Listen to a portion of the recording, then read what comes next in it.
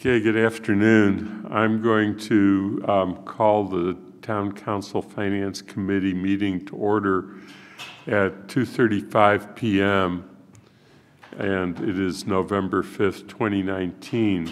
Um, Of the committee, um, there are t- two members who are not here. Or- Shalini's here. Um, So the only one, Dorothy Pam is not here, and um, she is planning to be here, but um, is going to be a few minutes late. And the one who we do not expect to be here is one of the resident members of the committee, uh, Mary Lou Theilman. Um, But we do have a quorum present, and we are proceeding, and um, so I want to thank everyone for being here, and I want to thank Amherst Media for um, providing coverage for the community.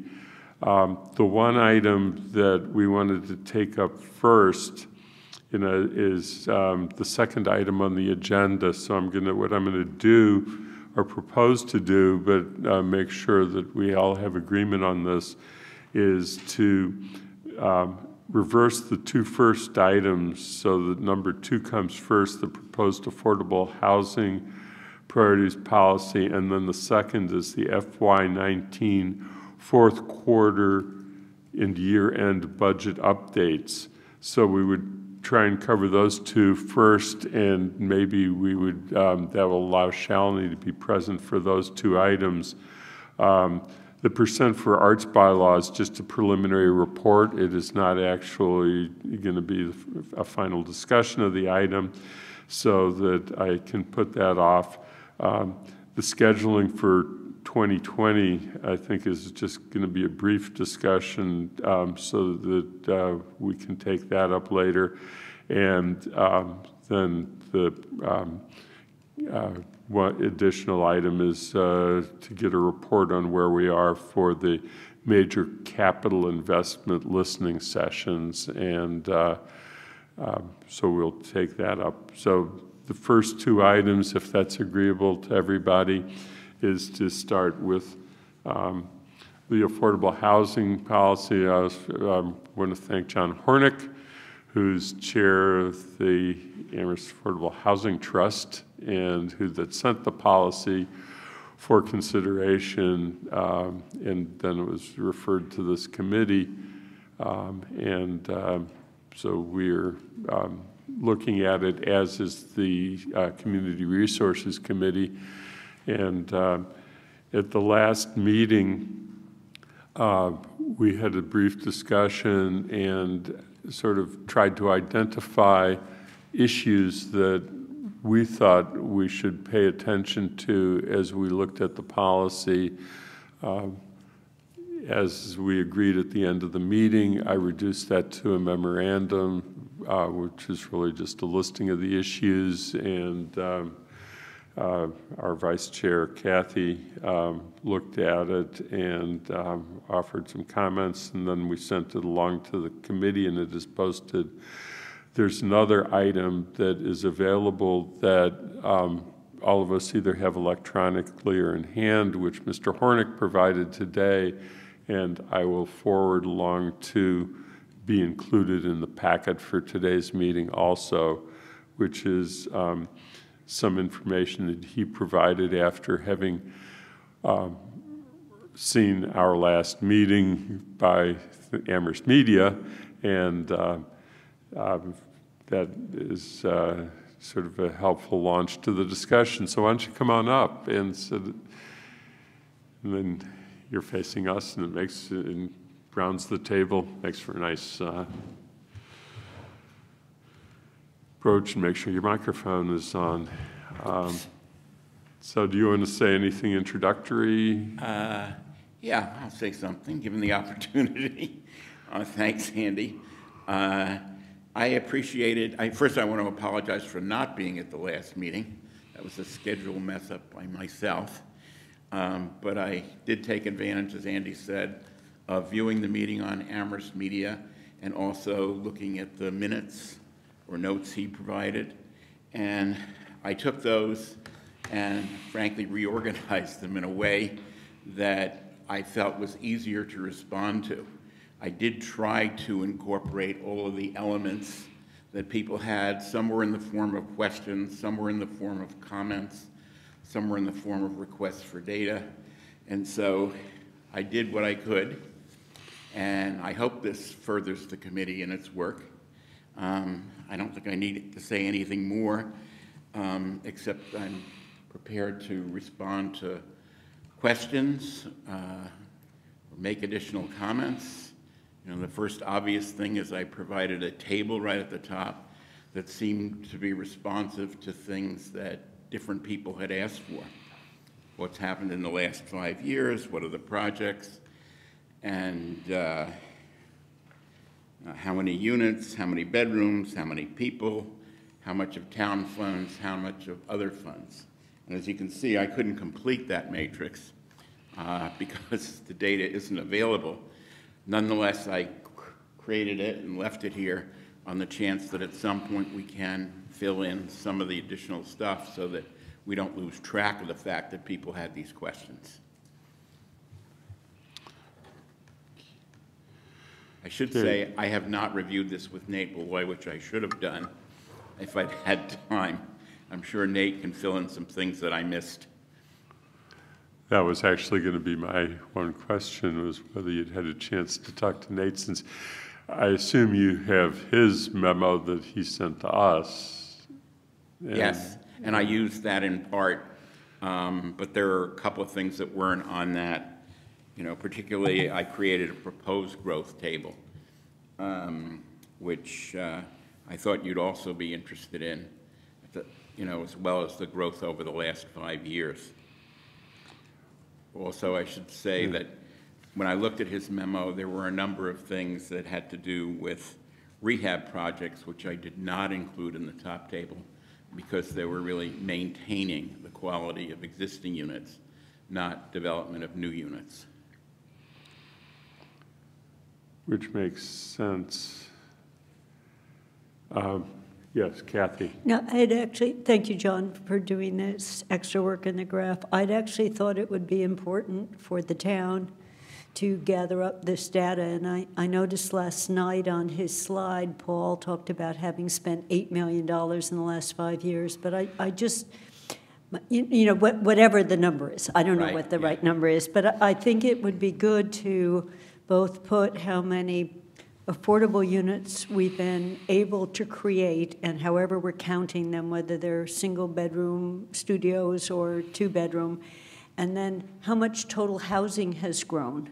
Um, Because, you know, if we get to the point as a town that we have a policy with a target, um, you know, one of the discussions at last night's uh, housing forum in the small group I was in, you know, if we only grew by a total of 250 units total in five years, having all of them be affordable, you know, just to, to put it in context of how fast are we growing with anything in town? And, and there was a lot of discussion of, are there, have there been will there be opportunities going forward? So I, I really appreciate you doing this, but I didn't think it should be you alone. I thought, you know, we should go back into the town records and, and what they know about, you know, development around the town on new developments that are in process that may have no affordable units in it, but just, uh, you know, a general sense. So I do, you know, combining yours and Nate's, but just getting something out of the planning department that gives It- us a, Not so much combining as my drawing from information that he's provided in the past. sure, Um, I'll just say that um, the official counts are things that the town provides to the Commonwealth subsidized housing inventory. And I provided the link if you're curious, you can look and see what that is. I think it was established under 40B. Yeah, it must have been. Yeah, I believe so. Right. Um, So the town provides both counts of total housing as well as affordable housing or subsidized housing under that. And Nate will know all of that, so that can be added, I think, without too much difficulty. Uh, Obviously, some of the items aren't quite so easy. Lynn? Um, You know, the, in this chart, my guess is that part of the way that the town manager got to the 8 million is he uh, included some value for East Street School. Yes, but that, my recollection is people estimated that to be a quarter of a million dollars or less is the value of that property. I think the other big thing was, um, I think he included Rolling Green. And he acknowledged last night is that Rolling Green was an effort to preserve affordable housing that otherwise would have been lost if it had gone to market rate. It had been sold as a market rate development. And um, the town investment was very substantial.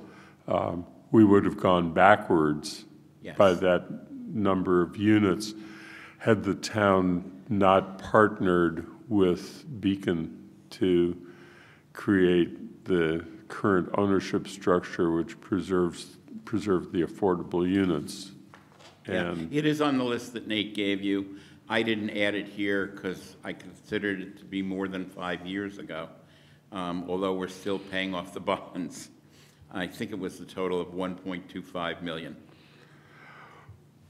well, this sort of gets to a question that I have, and then uh, I keep looking around so that, because if any of you have questions um, at any time, just signal to me so I know. Um, When the trust talked about the policy that it wanted um, the council to consider, and it talked about 250 units, um, it adopted a number that was already in existence from a prior policy, the Housing Production Plan from, what was it, 14, 2014. There have been units constructed since. I'm assuming from what I heard last night, but I just want to confirm, that your proposal is essentially a start over of the 250, that you're not going backwards to 2014, you're going forwards from where we are now in your proposal. Yeah, I'm not suggesting, or we're not suggesting that we make up for lost ground. So the, I think that the um, value of looking at this information um, is that uh, it gives us an idea of how, what's the ratio of town funds to units produced in various projects, because obviously we're a finance committee, and our comments are going to be along lines in part, if not totally, it's a committee decision in the end, can we afford it? And um, that historic data is in some ways um, a valuable predictor of what we can expect the cost to be going forward. Yeah, I hope they're a little less, actually, Andy. Uh, Well, I won't say we overpaid for some of these projects in terms of the town contribution. Um, One of the things that is in the policy is a statement that, except under extraordinary circumstances, the range per unit should be, I think, between 40,000 and 100,000. And obviously, we had, had a number of projects that go over that. Uh, we don't say in the policy what are the circumstances under which you could exceed that. Uh, Maybe we, we, we ought to have included that, but we didn't. Uh, I do think that there are, uh, I won't say the town overpaid, but it, it, I think the, there was more money there maybe than, than we should have put into some of these projects. Yeah, the, um, some of the small new construction um, ones, particularly the ones that were done through Habitat, Right. Now, that is leveraged. I know it doesn't show there, but Habitat does leverage through sweat equity put in by the eventual homeowner, but also through contributions from uh, various building suppliers in town, uh, and, and obviously other contributions that they receive. But that leaves us with the other funds piece being blank, which is something that Kathy was referring to. I don't know if you want Yeah, I, I mean, I realize it's a complicated thing to put together, but it, it, you know, if we spend seven hundred thousand and leverage another five million, you know, just, it's, it's just some accounting way. Um, I did a rough adding up of the units that you have, and it comes to about a hundred, maybe a plus or minus, you know, and, you know, what did we spend directly?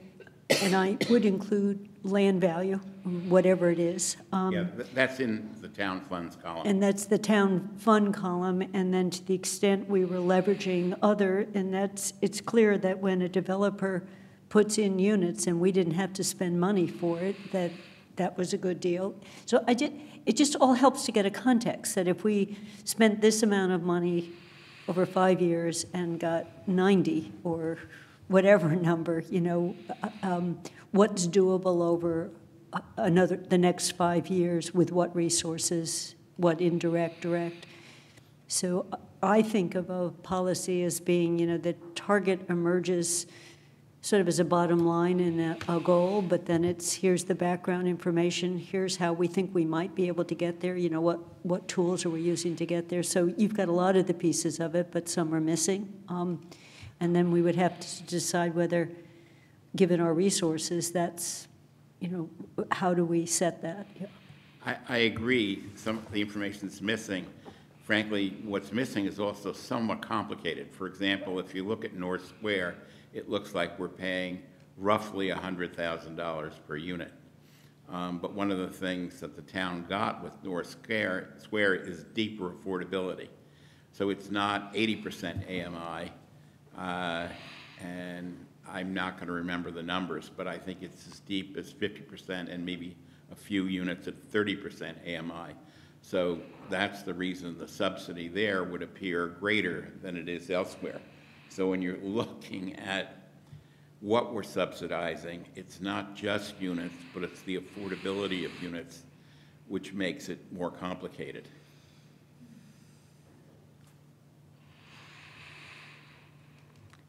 So is there anything further on the first part, which is the um, look at investments that have been made? I'll say one other thing about this. Some, more than a decade ago, I was involved in a study of mental health residential programs. And one of the things we were looking at is the cost per uh, bed or per unit. And the study involved half a dozen different states. And if you looked across the states, what you saw was a great variability. Massachusetts had a much higher cost rate, for example, than Tennessee. Well, why is that? Well, the answer goes back partly to what it actually costs to create a mental health resi residential unit, but e perhaps even more significantly, what states were willing to pay for. So when you look at this, the question isn't not so much what our costs might be going forward, Kathy, but what we're willing to pay for.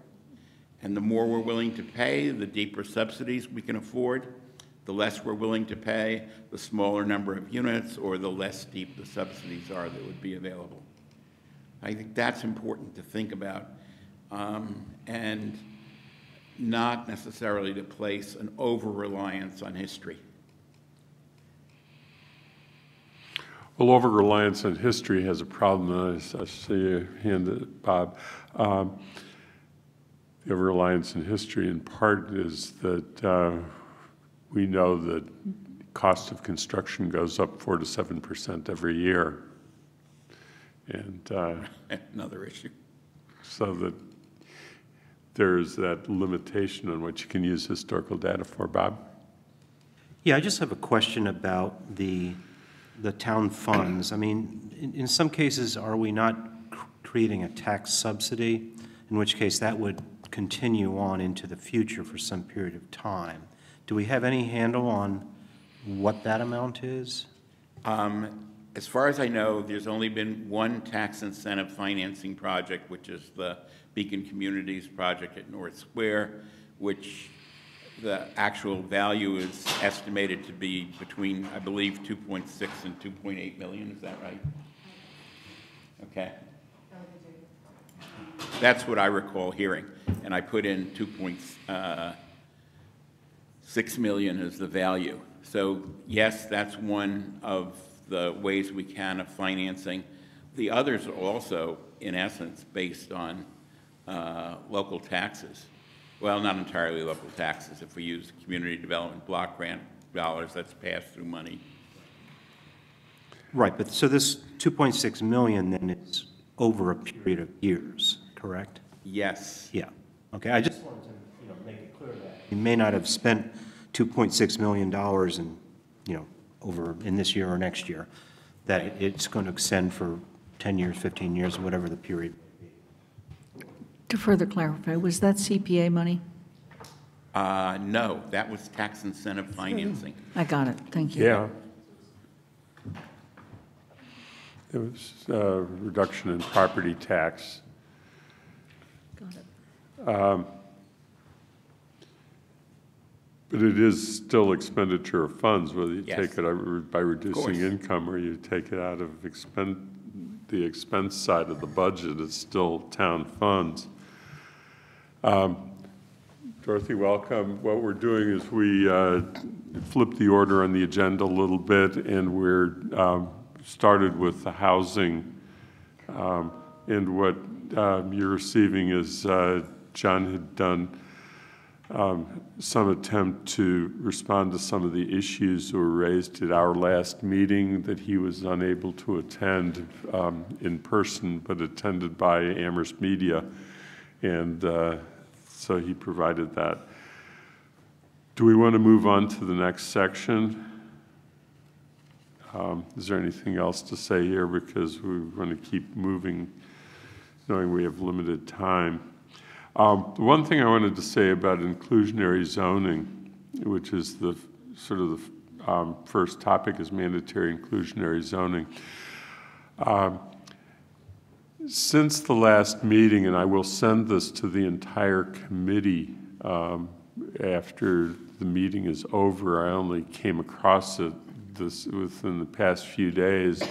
Um, I was advised by a former member of the um, planning board that in 2014, the same group that did the housing study and the um, housing production plan, RKG Associates, um, did a study of what the cost, what, what the effect might be on construction of housing if there was a 15% requirement for um, inclusionary zoning in all projects, um, as opposed to the way that the um, zoning bylaw is currently written.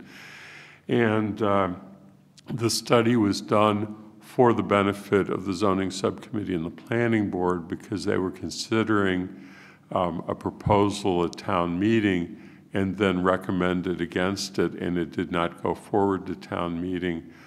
Um, What their conclusion was, I can, um, I'll summarize uh, very simply, but it really is worth looking at because it really goes into great detail looking at the economic costs of constructing buildings and of development, was that um, it is, they concluded at that time, again, remember the date, that it is highly unlikely that new construction would occur if there was a requirement of inclusionary zoning for all properties. And uh, the, um, and that it was particularly true in downtown because cost of land is higher, so that the higher the cost of land, the more likely it is that you would have that net result. As a result, the um, then zoning subcommittee did not recommend um, this provision, which was actually, I believe, in the original housing plan as a suggestion to consider. Definitely in the housing production plan. It was in the housing production plan, which actually was also, I believe, earlier in 2014. I think that's why they, it came up in 2014 to the um, planning board. Um, Now, I did um, have some conversations with some of our staff and planning about that study, and um, they, um, the the feeling was is it probably needs some revisiting to see if there have been changes in some of the economic assumptions that were built into that study um, that alter the um, bottom line outcome of the study, but that it was very clear that that was the conclusion.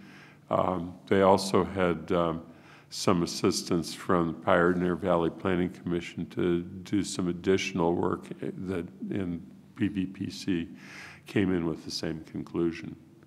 Um, And uh, so we don't, it, it is something that needs to be considered carefully because as a finance committee, we have to recognize that not only does it mean that you not only get no affordable units, if that's still true, but you get no units at all and you don't get any new tax revenue from new growth.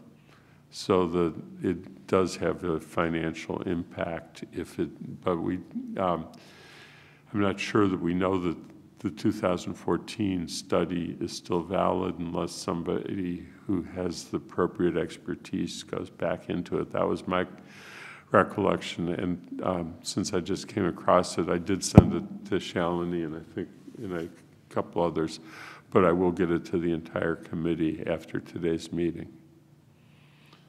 Um, And I understand from Chris Brestrup, who I did discuss it with uh, yesterday, that Chris is getting it to the planning board, the 2014 report from RKG. And uh, so that they will be having a similar discussion. And I sent it along to the chair of the uh, Community Resources Committee. Could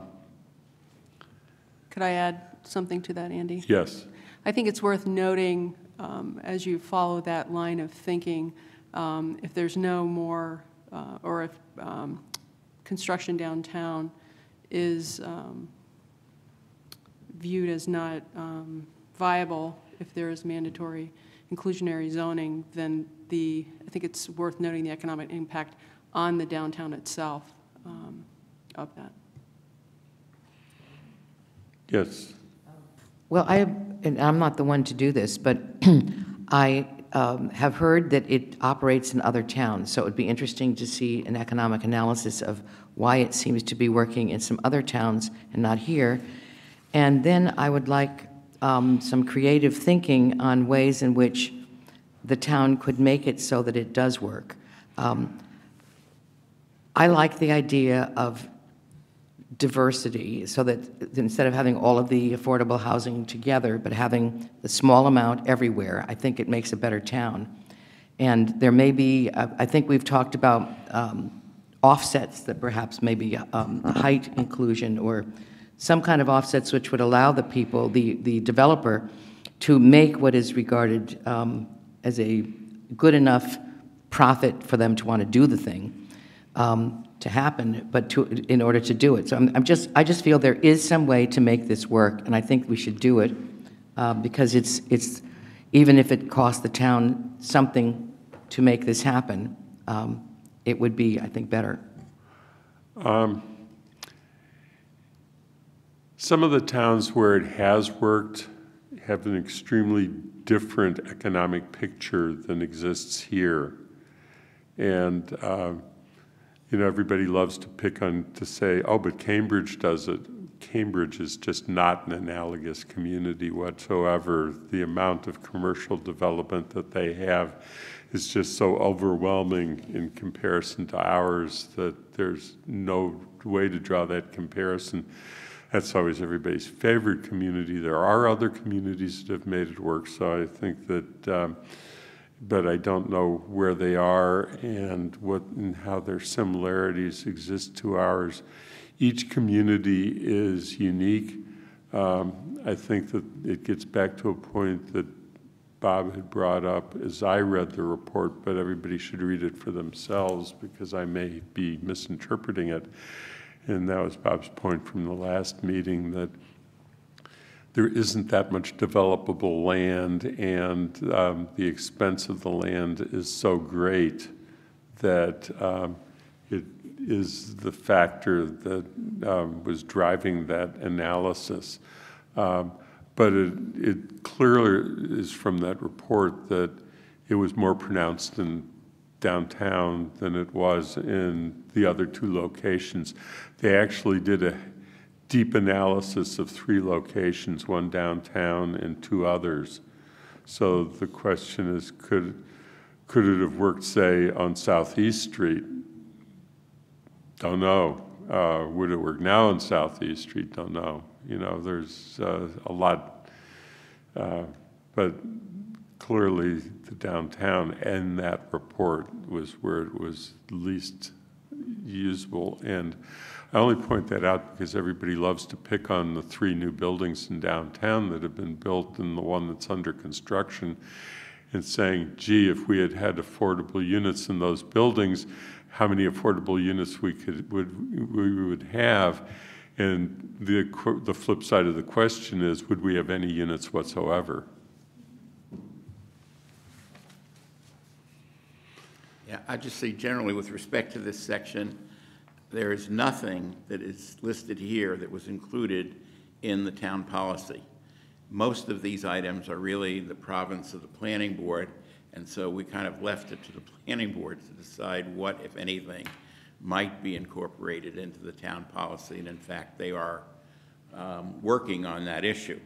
Um, We have had uh, one building built, 70 University Drive, with affordable units. And my understanding is the uh, Two building that would actually presidential 9 also, presidential, Right, oh, presidential added units, right. yeah. Uh, But I'm thinking about, I think it's Aspen Heights is the name, I can't remember if that's quite right, uh, would be built with affordable units. And I think it's now somewhere in the permitting stage.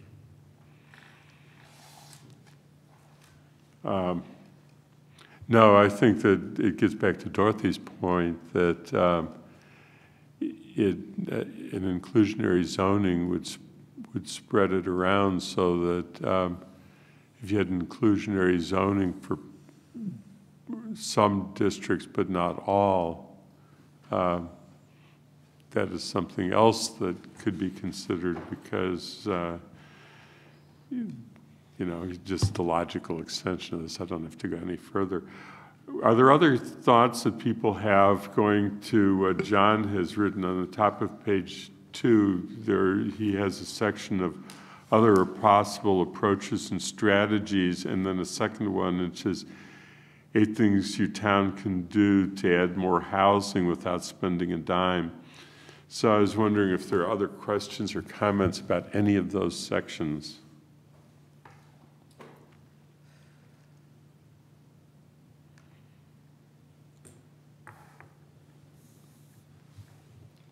I, I don't really have questions on them as much as if we, if you thought through a package that had these possible levers in them, um, you know, speculation on how many of what could you get uh, would be interesting. You know, even last night, there was some talk about uh, some of the people who might have a unit in their own home that they could rent out are finding it uh, more economically advantageous to rent it out as a, a bed and breakfast, as an Airbnb.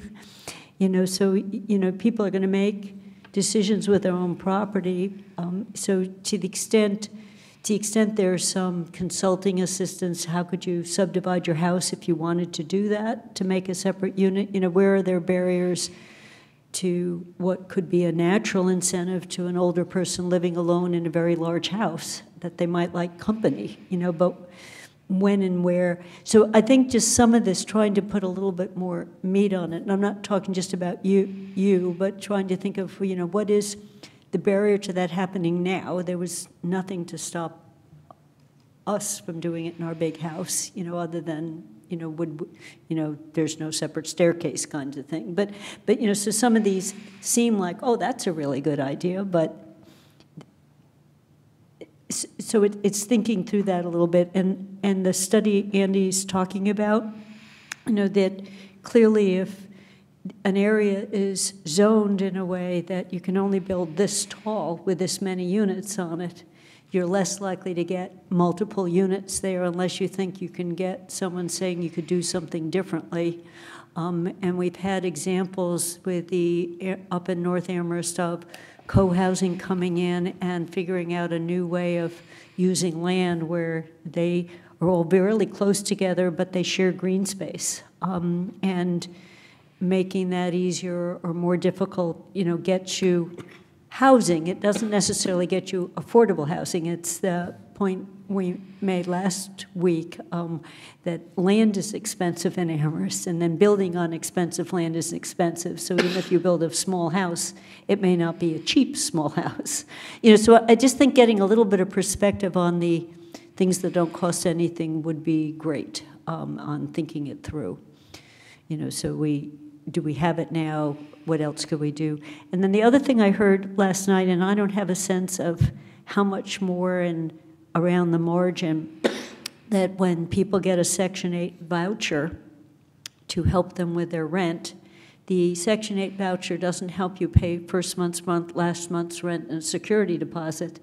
So you can pay your monthly rent with the voucher, but you can't get you can't go to rent, you know, the contract. So that's around the edge of getting someone into the unit in the first place, and that's Section 8's not under control, but around the margin of Section 8 could be CPA money or, you know, the community block grant. You know, just some of these are a smaller amount of money is not actually buying the unit, it- but it's buying them, someone into being able to use their voucher.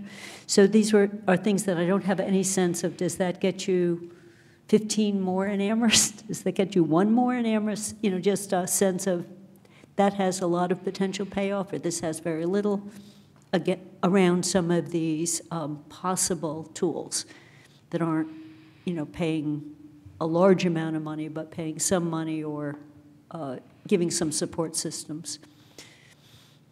Yeah, the problem with Section 8 that you're describing occurs when someone has a voucher and wants to use it in a market rate unit, then all those other costs come into play. But if they want to use it in a unit that's designated as affordable, you don't run into those obstacles, which is one of the reasons for trying to expand the number of affordable units in town. I'm going to say, with respect to all of these things, I was trying to be responsive to the committee's interest in what other strategies might be pursued and the uh, things the town can do without cost was something actually that Shalini provided that were in Andy's notes. Uh, So I thought, well, why not list them here? They overlap to some extent with ideas that Janet McGowan has. Uh, I don't think we can do all of these, and I guess I was thinking that the planning board would be sorting through these and deciding which ones were ones to make a priority at least. Uh, And the policy document itself might say, okay, the town's going to try to move forward with two or three of these, but certainly not leave it entirely up in the air or say anything is possible. I think each of these is interesting in its own right, but they all have their own risks. It is. Um, There's one other section that I, we're going to run out of time, and there's one other section that I wanted to at least address myself, but I want to see if there are other sections that the rest of you want to make sure that you cover out of this memo in the amount of time we have left. Because I do, now that I know that Sean is here, um, we want to have, we have to build some time in for looking at the revised version of the tool if uh, he has that available, which was, and plus, looks like he doesn't want to stay longer than necessary. Uh, The one that I wanted to bring up, I'm just, since nobody's raised their hand, is on top of page three, other uh, town financing tools, section five. We know, we've talked extensively last time about CPA funding. Surplus town property, uh, we always have to be very cautious in thinking about the question of whether the property has resale value and what is the resale value that we're giving up by not using it. Um, This is my favorite topic of discussion, is everybody wants to use the central fire station. If we ever abandon it for the new fire station, Lynn has devoted her life to building. Um, And, uh, um, but yes, we could uh, make it into the Performing Arts Center that uh, the arts community talks about, um, but it also would be sellable for significant sums. It, everything you, you give away is an asset. So there's an asset value to the CDBG funds. I think we all know about tax incentive financing, we already talked about. Airbnb, um, we can only do what the um, legislature authorizes us to do, and we've taxed it to the max. I thought the town had already adopted. Yes, we short-term. did. So there's, so we're already counting on that revenue into the revenue that we have. So it's not, there's not new revenue. Actually, by statute, some of it has to be set aside for affordable housing. And the town went with the state guideline, but not any further. And um, the inclusionary zoning payments in lieu, we have, you know, as you point out, it's there in the statute, we haven't collected any. Um, Yes, I brought, mentioned ta- trade-offs where the um, zoning could grant the right to additional story for um, affordable units. There was no discussion of that. So why is that not a good idea? that in some ways is the inclusionary zoning provision that we have now. It just said change of use. Uh, No, the um,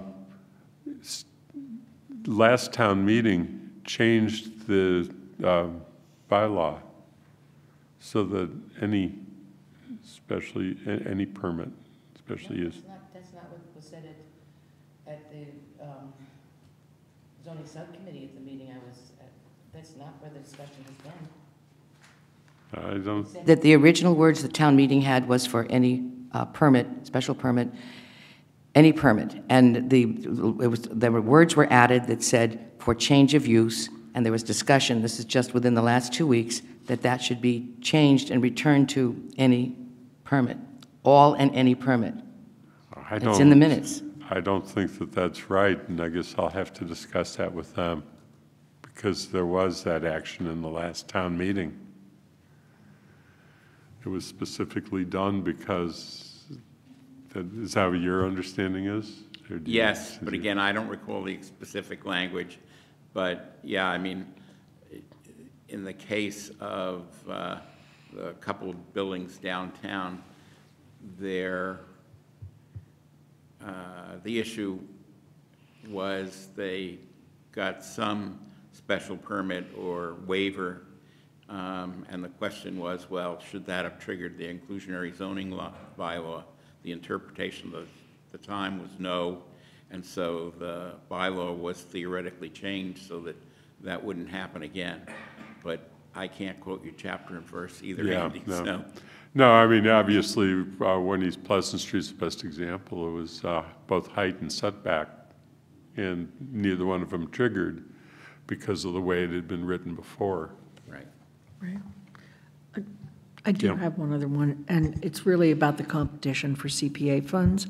And I'm actually quite concerned about this because um, based on what the goals are, whether, how much of the CPA funds are we really looking to spend on housing versus the other three areas, which for other reasons are also important to the town. So um, I'm, just as um, I was not in favor of going beyond the 50% required on the, um, the Airbnb money, I'm very reluctant to say that a certain fund should have a certain percentage or have certain goals that must be met by that fund, and it be captured by one of the four options for that fund.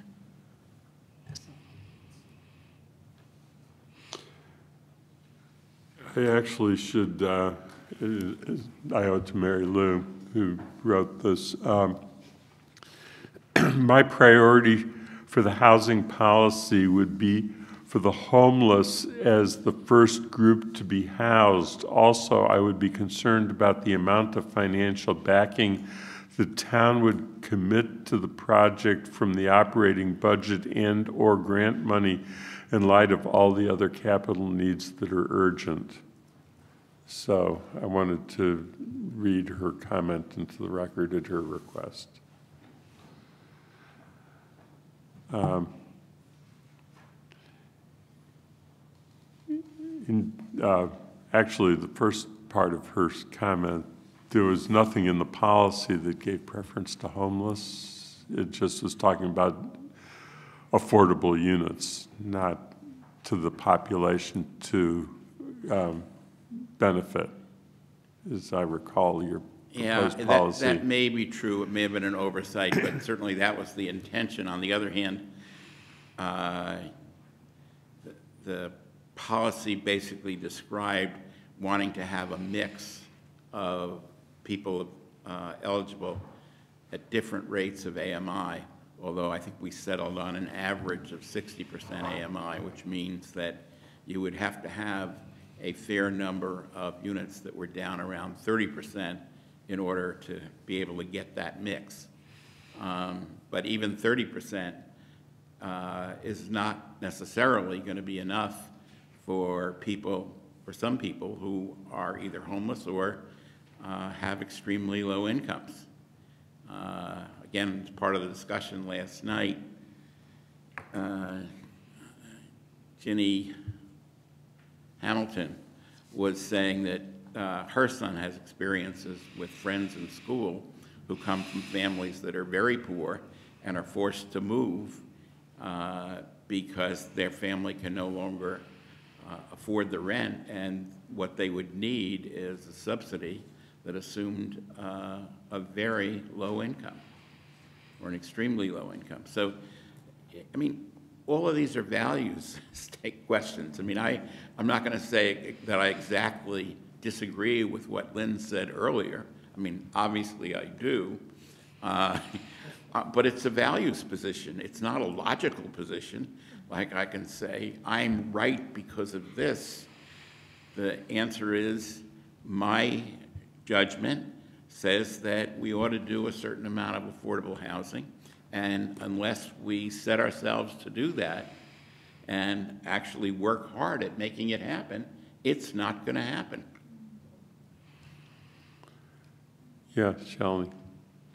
Yeah, I do feel like as the town council and taking into account what the values are of the town, we need to have a shared statement of, you know, what are our goals with respect to whether of with the limited resources we have, it, whether it's just homeless people or and or workforce housing. That's another group that is sort of um, doesn't make it make the cut, and so I mean, if we try to do everything for everyone, maybe we don't have the resources. So could we, I mean, that's something we need to discuss. What are our goals for each of these populations? And Yeah, that's at least addressed or raised as a question under item six, concerns about affordability.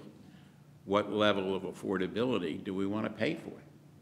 Or what level of subsidy uh, are we willing to commit to? Yeah, Dorothy. I think that we should have people who receive um, welfare benefits or disability payments, uh, are there maybe at like 15% of AMI? I don't, I think they should be included in our plan. Yes, I, I agree. Um, And I think somewhere we say that, although, again, it, it may not be as specific as you would like it to be. In which case, that's why we're having this conversation. Okay, so I think that we, um, I need to draw this to a conclusion, and it seems to me that there's several things. One is um, that there seems to be generally within the committee a support for doing something, um, but that we have some big questions about what it is. Second of all, um, I'm not sure that um, how much of it is a finance committee discussion and how much of it is a CRC discussion, and it all will ultimately be a council discussion.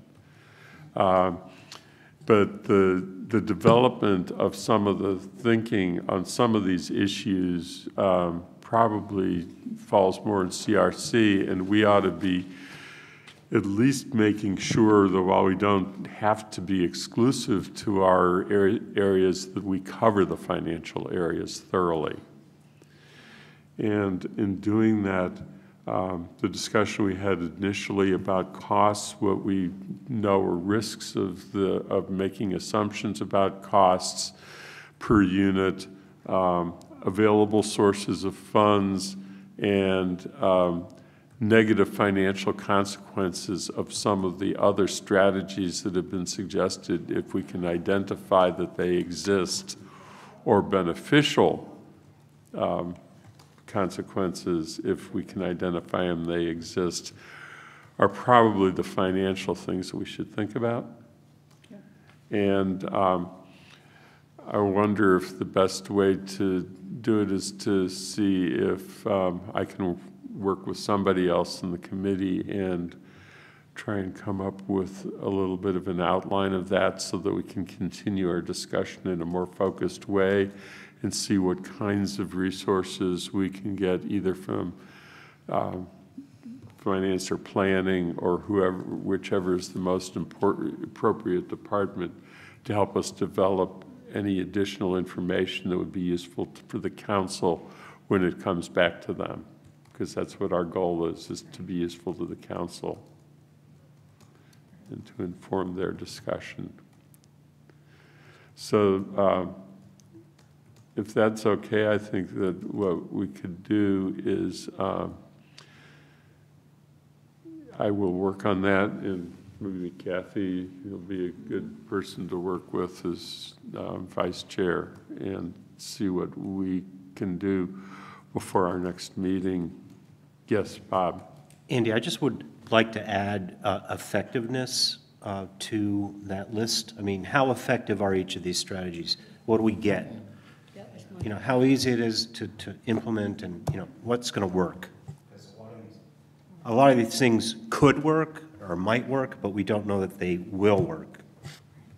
That was, that was well said. That was my point, you know, that this gets you not much or gets you something, but with an awful lot of effort.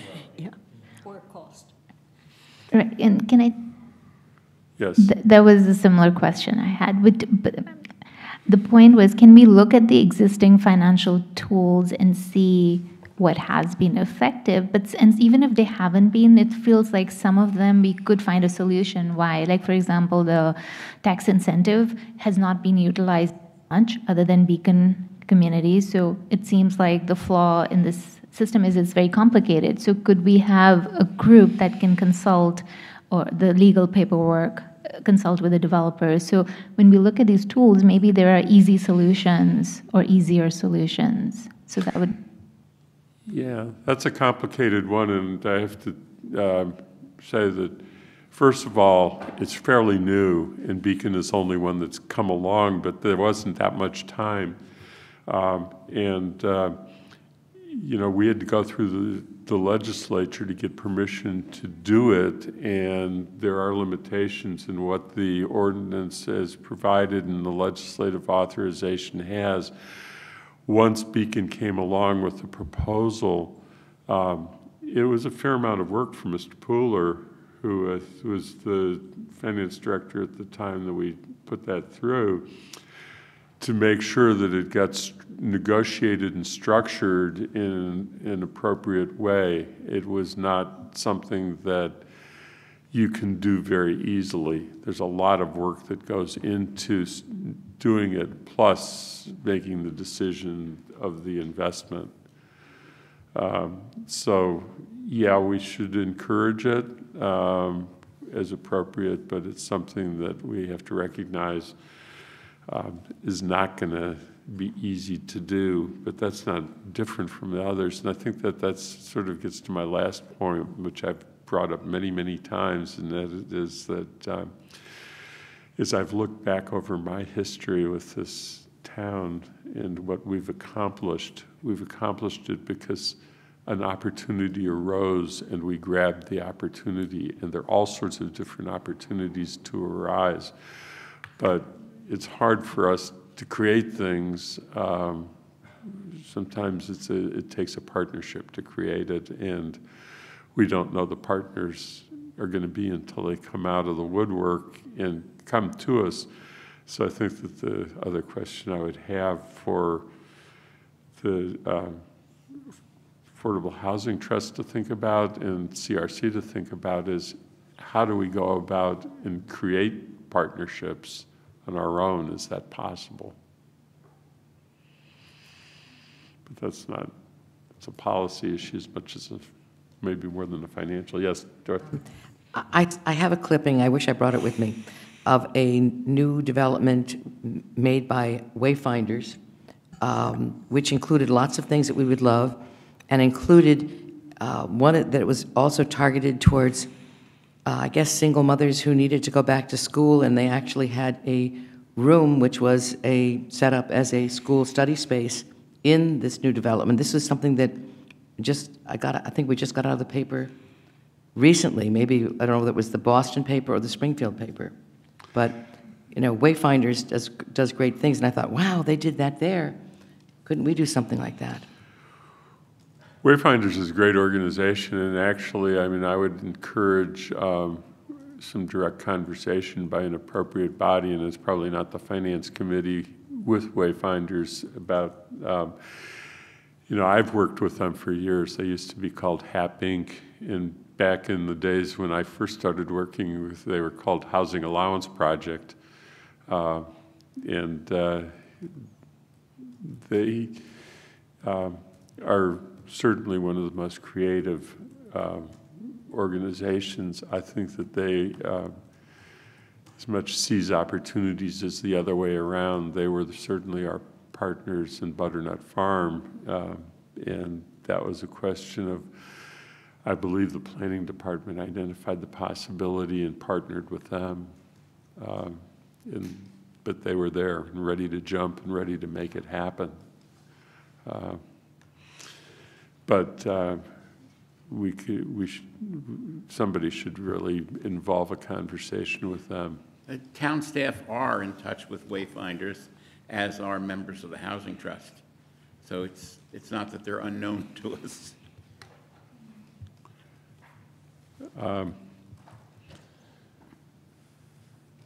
But, okay, well, I think we need to go on, but thank you very much, John.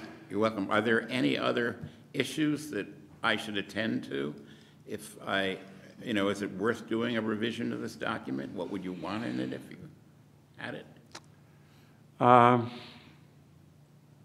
I don't think I would encourage you to spend the time on it now, but um, as we identify things, the one thing that we need to do, and we need to talk with Nate Malloy about, is gets back to the chart at the beginning on uh, page one. And uh, I know that Kathy uh, has talked about that because uh, I think that she would like to make that a lot more complete and richer chart. And um, I think that was one. I am reading the CRC minutes. I haven't gone to their meeting. I mean, they have, uh, they've identified a series of things. So I think you trying to respond to things as two different committees ponder issues would be time-consuming rather than waiting to get, you know, a more s- solid group of, uh, you know, either questions or ideas about where we think we could be going. And as you said, this, you know, finding to the extent to which the planning department can refine the table, add to it, expand it, whatever. Um, But you shouldn't have to do all of that, yeah. Well, town staff are pretty busy, and if I can, I try to pitch in. So um, I think what we're going to do, what I'm going to propose that we do is, um, because I know that Shalini needs to go, or I don't know, if you need, you said, gave a time around now. Um, So um, the uh, two things that I want to make sure that we address today, and I want to get to Sean next and get his report on where we are with financial planning tools and anything that he has to report to us so that he can um, get going. And then the other is the um, fourth quarter and year-end report, which we have received. And I want to have some time today for those who are present, um, because I know that you won't be able to be here for that, to have a preliminary discussion of questions, but there will be a second opportunity at our next meeting. It's not a report that goes away, and it is what it is, and it's, what's important is we have the opportunity to understand it. So, Um, I'll just watch this on the, on the Amherst Media site, so. okay, and gonna- then if you have additional questions, particularly on that last topic um, that I mentioned, the fourth quarter year-end report, certainly Sonia comes to all of our meetings, so we can come back and uh, follow up in, at a next meeting with additional questions that you or Mary Lou might have, since Mary Lou also couldn't make it. Okay, so Sean?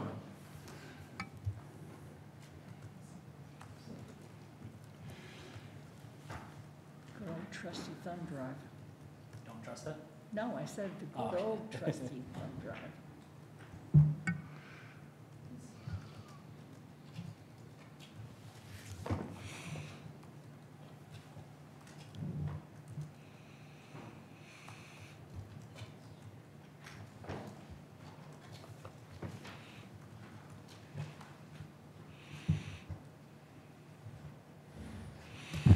Hello, everybody.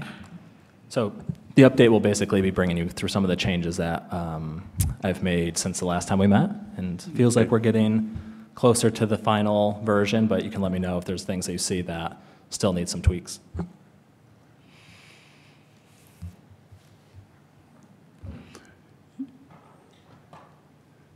Yeah, I'm going to bring up the cost of doing nothing.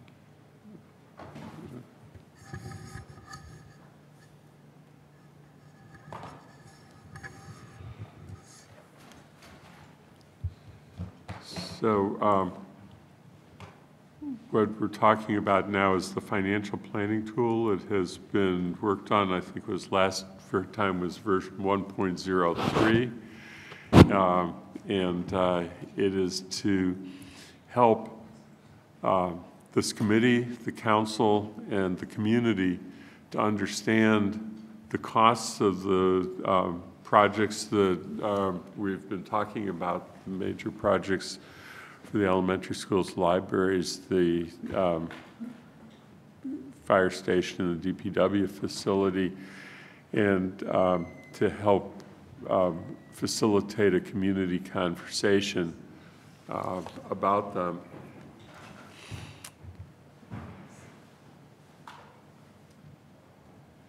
This looks a little funny. Is this working okay?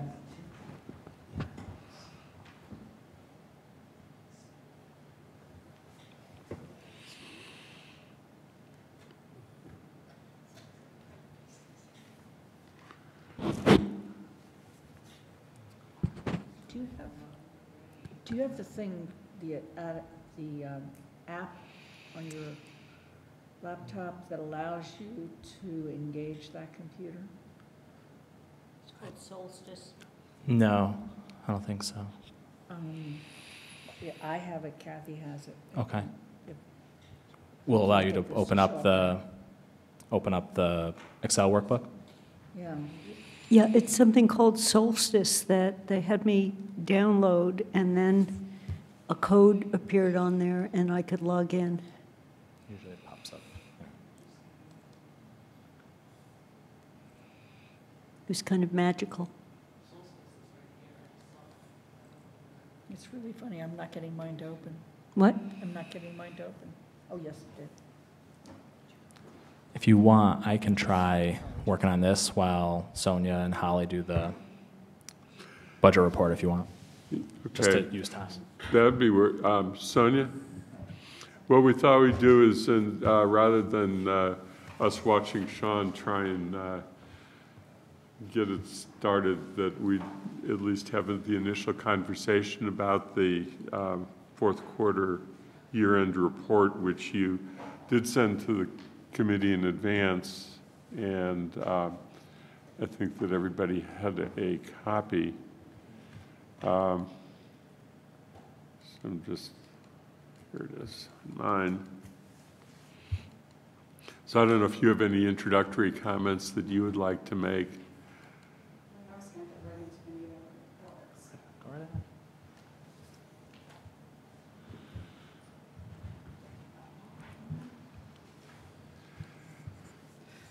I wanted to bring Holly here with me for this report, since we kind of did this as a team effort this year, all the year-end stuff, and we both worked on the quarter report together.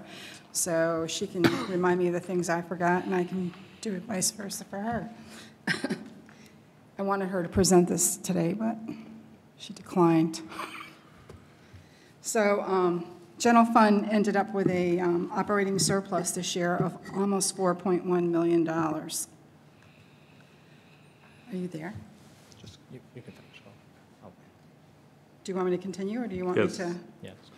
Okay, um, the best, the best way to look at it is if you look on page eight of the, of the um, quarterly report, that's the best summary for this. And to what made this up is 75% of this was um, revenues in excess of what was budgeted. And the main, the main contributor to this was the $2 million being paid back from the Health Claims Trust Fund.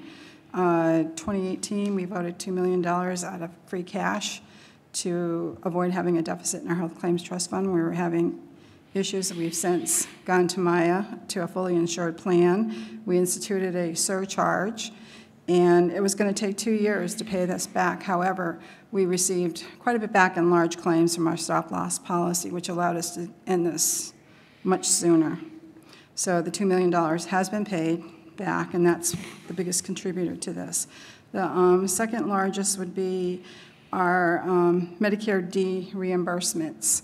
This is not a budgeted revenue, but the revenue comes into the general fund, we let it fall to free cash, and we subsequent, used to be a subsequent town meeting, but now a council vote will move that money from free cash to OPEB. And this is the last year that this is going to happen because we no longer have Medicare D. Uh, The third contributor to this was uh, tax liens that were collected in excess of what we budgeted. The other 25% contributing to this is returns from operating budget. Uh, The biggest contributors there were, I'm lost in my notes here, caught me off guard. Was the general fund, was the biggest part at $786,000. And that was um, savings on our benefits, savings from bidding out our property and casualty uh, insurance. Overall, we saved over $100,000 on that. Uh, It was, it's allocated through region, elementary school, library, but a biggest chunk of it was, was here. Yes, in the enterprise funds, thank you. The other was, uh, largest was community services, and that was money being returned, the 50, the $60,000 that was voted at town meeting for social services, which was for, um, what was it? Youth. Preschool? Youth. Youth. Uh, We didn't have time to get into a contract, so the money had to be returned, because we can't carry over money to spend after unless we had a contract in place, and we didn't, so it would close back to free cash.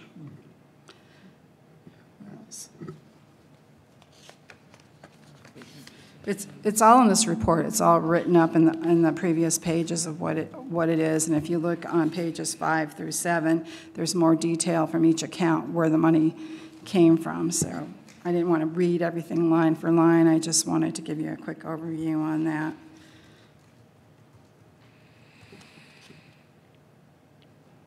So that's, that's it for the general fund. Good news. We also have free cash certified, and uh, we certified at 6.1 million. Again, that is because we brought back 2 million into the general fund from the Health Claims Trust Fund. That's why it's so high.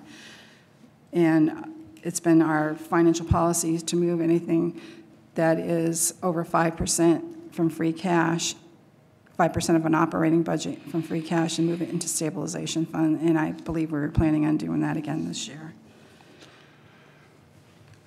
The enterprise funds. Get there.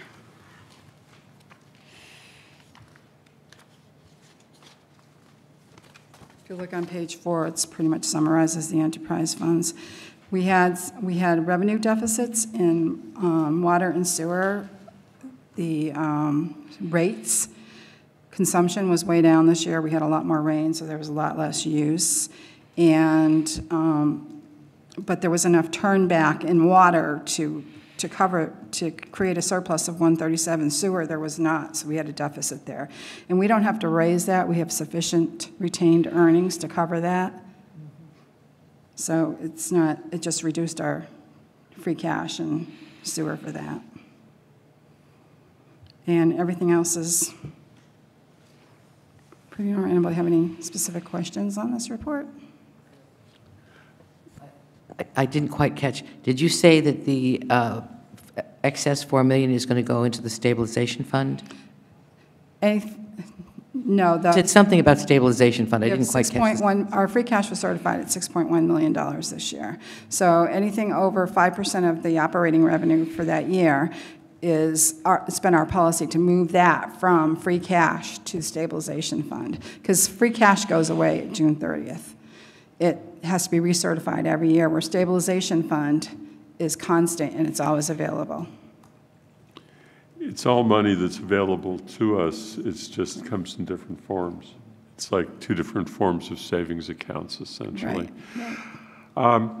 I was trying to get the numbers to add up, and uh, because we had um, 4,081,389 was the amount of um, going excess uh, surplus, net surplus. And then 2 million was the amount that we had um, allocated from free cash to the Health Claims Trust Fund that comes back. So it's roughly half of it. Um, And then in the, uh, we said the remaining, that 1,017,765 comes from department spending below budgeted levels, and the other portion is excess revenues, and that all adds up, I gather. Yes. Um, so when we compare against prior years, where, because you made that in the prior paragraph, if the comparable figure would be to take the 80, 45, 987 and add it to the 1 million, so that is 1 million, about 1 million 97, 1 million 98. I guess I'm not following what you're calculating. I'm just trying to, um, in the first paragraph, you had said that 4,081 was much higher than prior years, and then you gave the FY 18, 17, and 16 numbers. And I was trying to get the comparable figure if you backed out the 2 million and see how that worked out. If that made the difference. If you back out the 2 million, you get down to 2 million, which is higher than the 1.5, 1.8, but it starts to be in the ballpark, right, when I look across the years? Yeah. You know, Right. so if I just take that one out, that's a one-time phenomenon as we transitioned. Um, So we had roughly 2 million more. 2 million, but also we, um, our surplus return for the general fund is higher than normal. Yep. So that's, that would make, make up the difference of the anomaly here.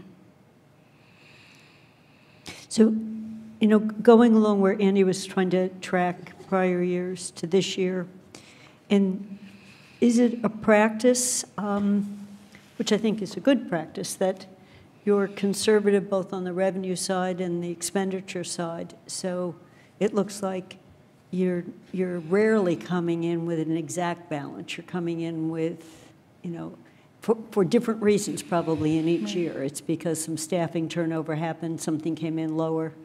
Because if I go across the years, one six, and I tend to round up, so one seven, one nine, one six, you know, and then this year the bump up, you know, we're in, we're in the sort of same neighborhood. Um, Is, is that what's going on here, that you, We're very conservative in budgeting our revenues. yeah, And um, our expenditures are tight every year. I mean, returning, some of these departments, returning, uh, public safety, returning 123,000 out of a, what, $8 million budget. Schools? Oh, education returning zero. Thanks, You John. can ask Sean that one.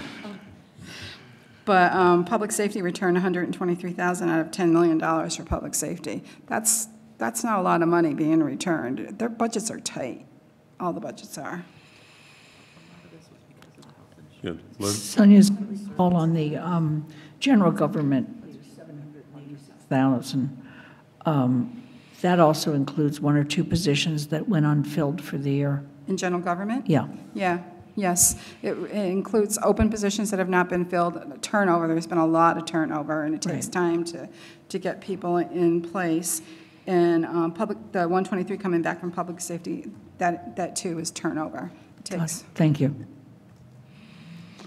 The, uh, the anomaly here is general government. Because of the health insurance, we increased our rates, and then we went to, to Maya, we paid off our um, surcharge sooner, so we didn't have to use that appropriation that we had for um, the town side. So all of that played into the 786,000. It's all in the text in here. Yes. Dorothy. I'm on page four, and this is my stupid question of the afternoon. The sewer fund had a revenue deficit, okay, of 371,691, and returned appropriations. So I do know that you subtract the returned appropriations from the deficit, and you get the total deficit, but I don't understand what the returned appropriations mean if there was a deficit.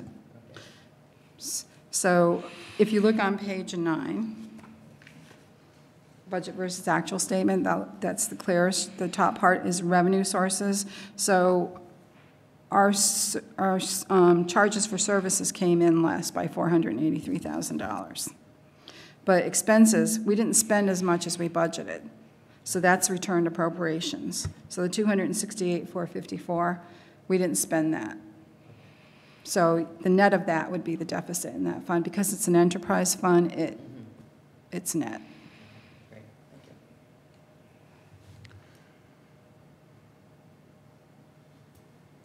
One of the things um, I think that would be helpful as we go into next year's budget, when we get to these enterprise funds, to get a fuller display of the reserves, you know, just, because clearly some of the way that we're able to go year to year is we've built up reserves, so if revenues don't come in the way we thought we we had, it's not uh, doing a mid-year rate increase on anything. And I, I know you have those, Sonia, I just, I'm just thinking that when we look at them, you know, we just talked about the new plant coming in and going backwards, but also forwards, knowing what we have in reserves, um, so we get a better sense of how this works out. Right, um, I can tell you we have about 2.1 million, over 2.1 million in sewer for retained earnings. We have just over 2 million in water, 111,000 in solid waste, and 173,000 in transportation, which are all certified. So it gives us a buffer. Um, You know, you don't want to run a deficit for too long, or the Right. buffer goes away, right? Oh, yeah. Yeah. Oh, yeah. We watch that very carefully. Lynn? Um, Sonia, besides the, I, I think it was the youth programs was 60 million. I could be wrong. It could have been some other, but besides that, are there any other funds that were committed by town meeting that didn't get expended? Um, I don't believe so. Not this year. Thank you.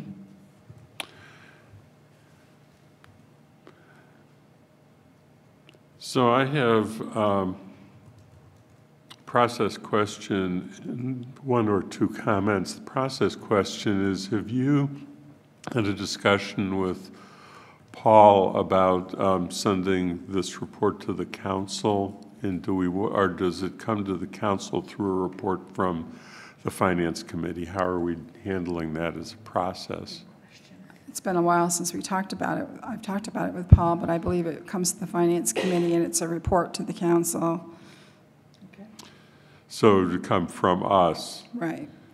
which then gives us the ability to put a memo on top of it, similar to what prior finance committees did um, in sending it to town meeting. Um, It would go to town, it- we did send it to town meeting at the um, fall special town meeting, but with a finance committee um, memo on top. And I think that the one thing that we explained is that the amount that gets, and you have it a little bit in your memo too, the amount that gets added to reserves, the total of the two reserve accounts, um, is not necessarily the amount that shows as a surplus here for the reasons that you explained. Right. That it's not been audited and uh, it's free cash It's not been been audited, but also, also this report is budgetary only. So this is reporting only on the budget that was voted for fiscal year 19. It doesn't include any carry forwards that we carried over the year before that didn't get spent. That all gets closed out to free cash, but that's a whole different other um, GAAP process that we work through with DOR. This is, this is telling you how the budget performed. And then what happens is that ultimately, and free cash usually gets certified pretty much at the end of the year, calendar year, but it's not tied to the calendar year. It gets, it usually gets certified, once we close our books, and now we have to close the whole system, the whole financial system, the Munis system here. And then once we do that and we've filed all our other reports, the free, the, um, Schedule A, and our balance sheet is final, we send it in for free cash, and that usually happens right, ar- right around October. Okay. Do we have any, excuse me, do we have any other votes that the council has to make with regard to transfer of funds based on FY19? Yes. And when will those We come? follow our finance policy and move anything over 5% from free cash into stabilization.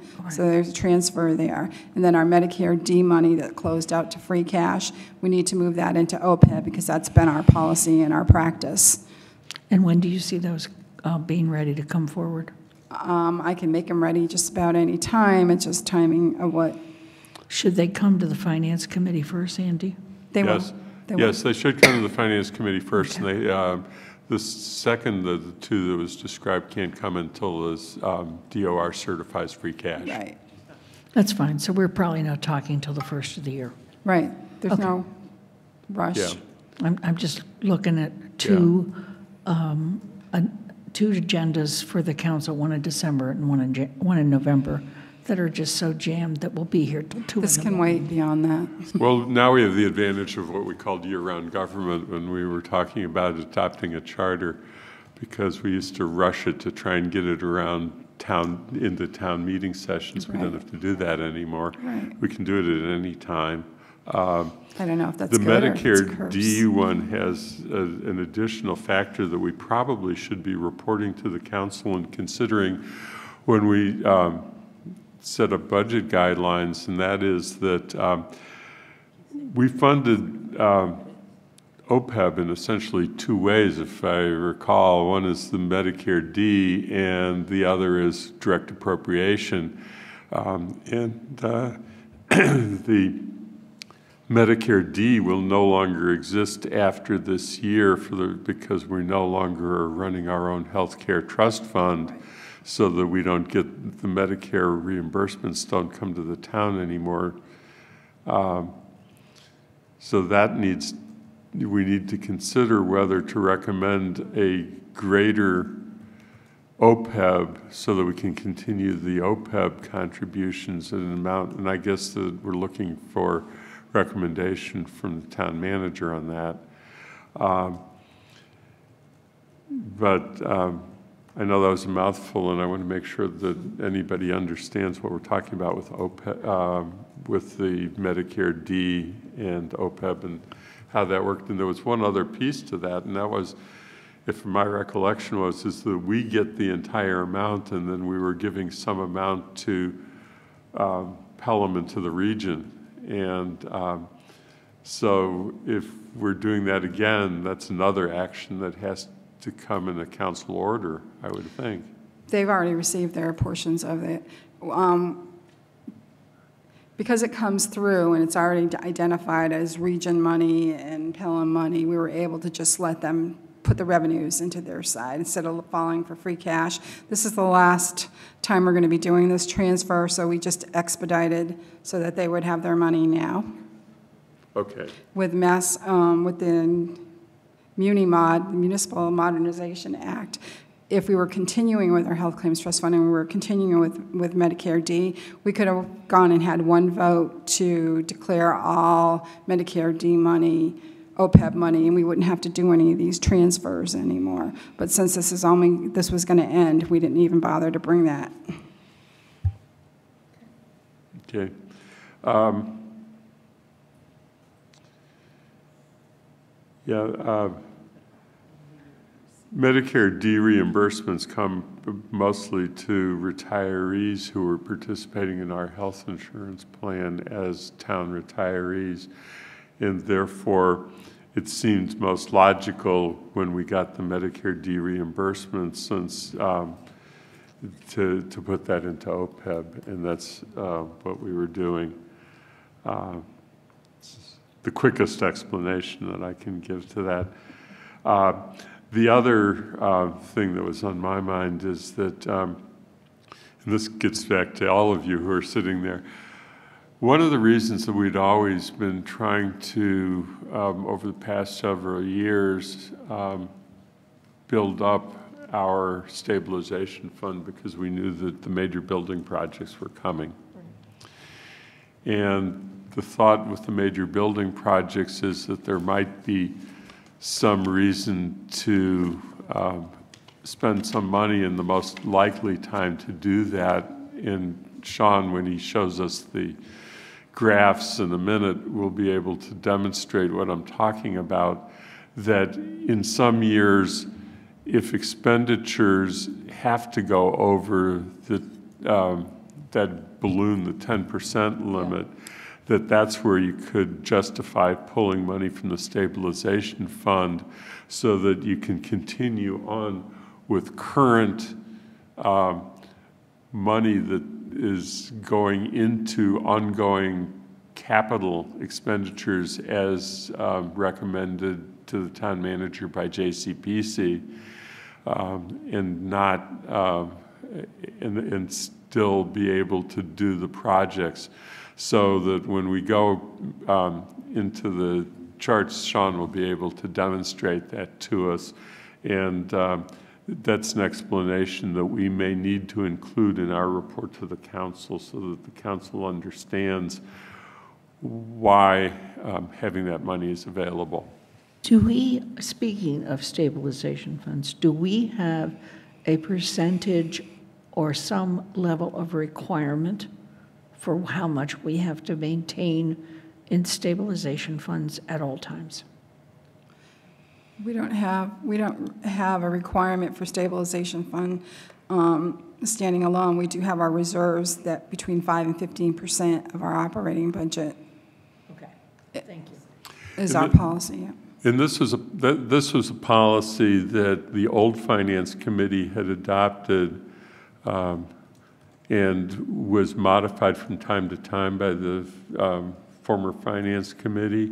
It was one of their charges at the time to adopt um, a budget, essentially financial policies for the town.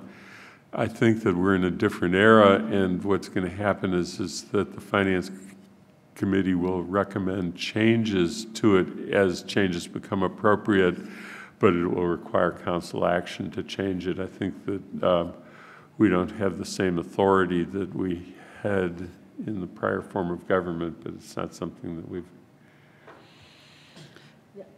This is, I don't want to spend our time with Sean this way, but the, setting the goals and establishing the guidelines for both reserves and what they're used for and stabilization of what they're used for is something I think we need to spend a little time on with the council mm-hmm. and then looking at how we deal with that because it's come up now a couple times in discussions about the fact that we're dipping into stabilization funds or that kind of thing.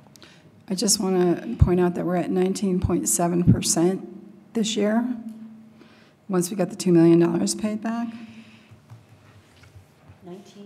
19? 19.7, because of the fact that we had thought we spent a bunch or to keep the health, 16.5 million. health claim trust fund alive, and then it turned out that we didn't, it wasn't needed.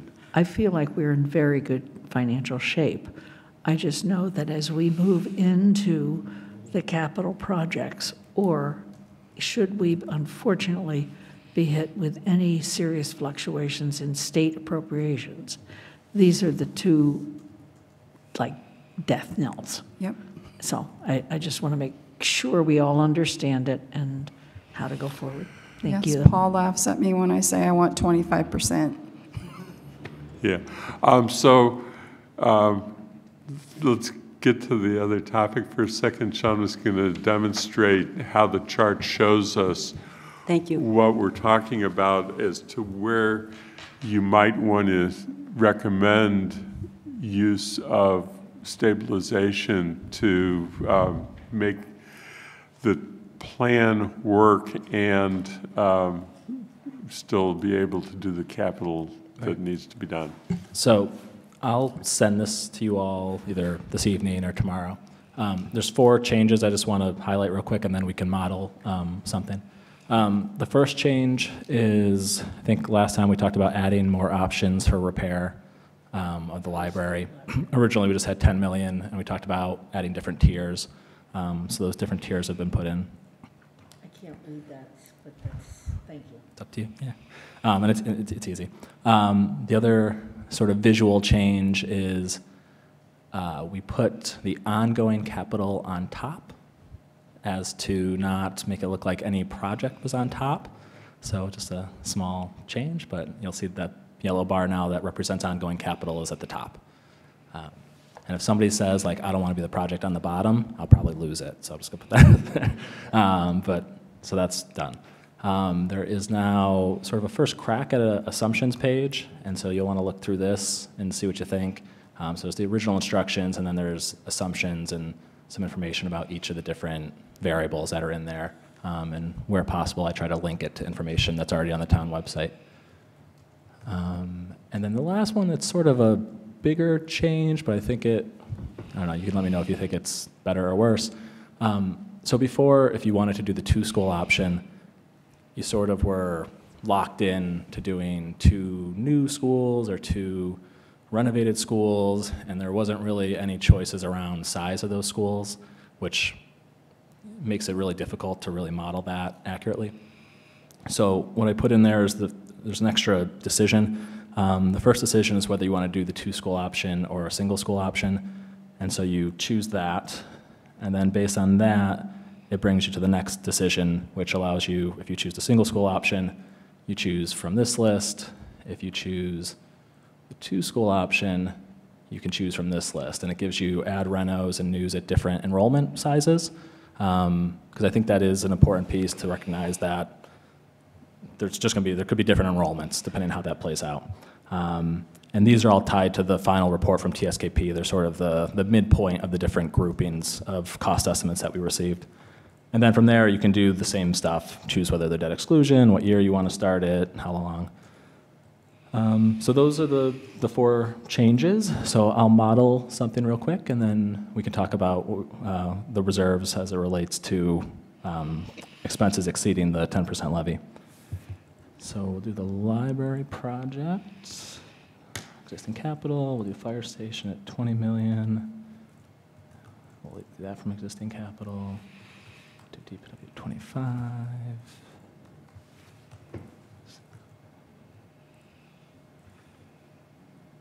Can you, You tell us what you're doing? Yes, yes, I'll I read- literally can't see that Sorry. far. All right, so the options, which I think I'll stick with for now, are for the library, just again, modeling, not proposing, modeling, um, addition renovation, um, the the MBLC project, essentially, the $35.6 million ad reno. In year 2023, using existing capital funds and looking at 30 years. Fire station, 20 million, um, modeling 2024 with existing capital funds and 30 years. Department, Department of Public Works, 25 million, 2022 existing capital funds, 30 years. And then for the schools, a single school option at 80 million, um, 2023 with a debt exclusion. And again, just a model, just so we can look at how it plays out. Um, Borrowing rate using 4%, um, which is the midpoint of the options. Cost escalation using 4%, which is the midpoint. Um, Using 7.5% for net zero, and doing the percent for art. And ongoing capital um, right now is at 2.5 million, which is roughly half, maybe a little less than what's currently spent on ongoing capital. So it's, it would be dropping down. And if you do that, and you look at the chart, so you'll see the three projects in there. Um, This is your existing debt as it runs off. This is your ongoing capital at the two and a half million. Here is the DPW in gray, the library in purple, and the fire in red. And the number kind of focus on is this 12 million. And so uh, I've been sort of operating if it's around 10 million or less, that it's, um, given our discussions around reserves and, and other, you know, some parts of the model that are conservative, um, that it's probably a plan that could be at least explored further. Um, So this is close to that. And so, you know, there's different ways to incorporate the reserves the town has to help with this model. Um, But the years where you might need to think about it, um, or, or how you might factor that in, would be these years where the, it, you know, eclipses the 10% levy line. Um, So this 12 million is not in any one year, it's the cumulative of all these years. So the biggest single year would be about 2 million, um, and it would get smaller after that. This is the total debts, and then the other thing that's in here is the um, debt exclusion. So this is modeling based on 322,000, which I believe is around the median household income in Amherst. And so there's only one debt exclusion in this model, so it just goes up once and then sort of winds its way down. And this was the percent for art thing that we put in as well, around the debt exclusion.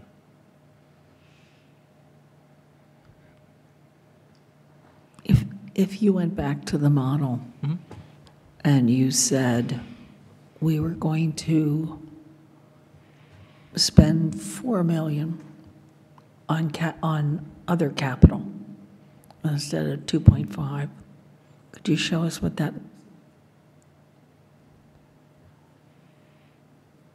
Makes a, yeah, that, that variable makes a big difference in the model.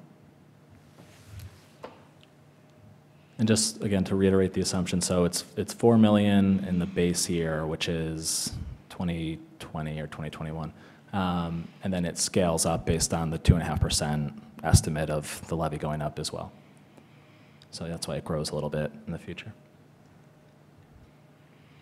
What year, sorry, I'll use the mic. What, what year do you have the last project starting in whatever I'm looking at it? Starting um, 2024.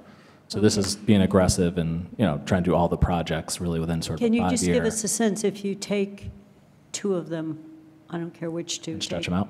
you have to take DPW and then fire. Take Yeah. DPW and fire and put them in, what, 2028, 2030, you know, just something further out, um, stretch the timeline out on when they start.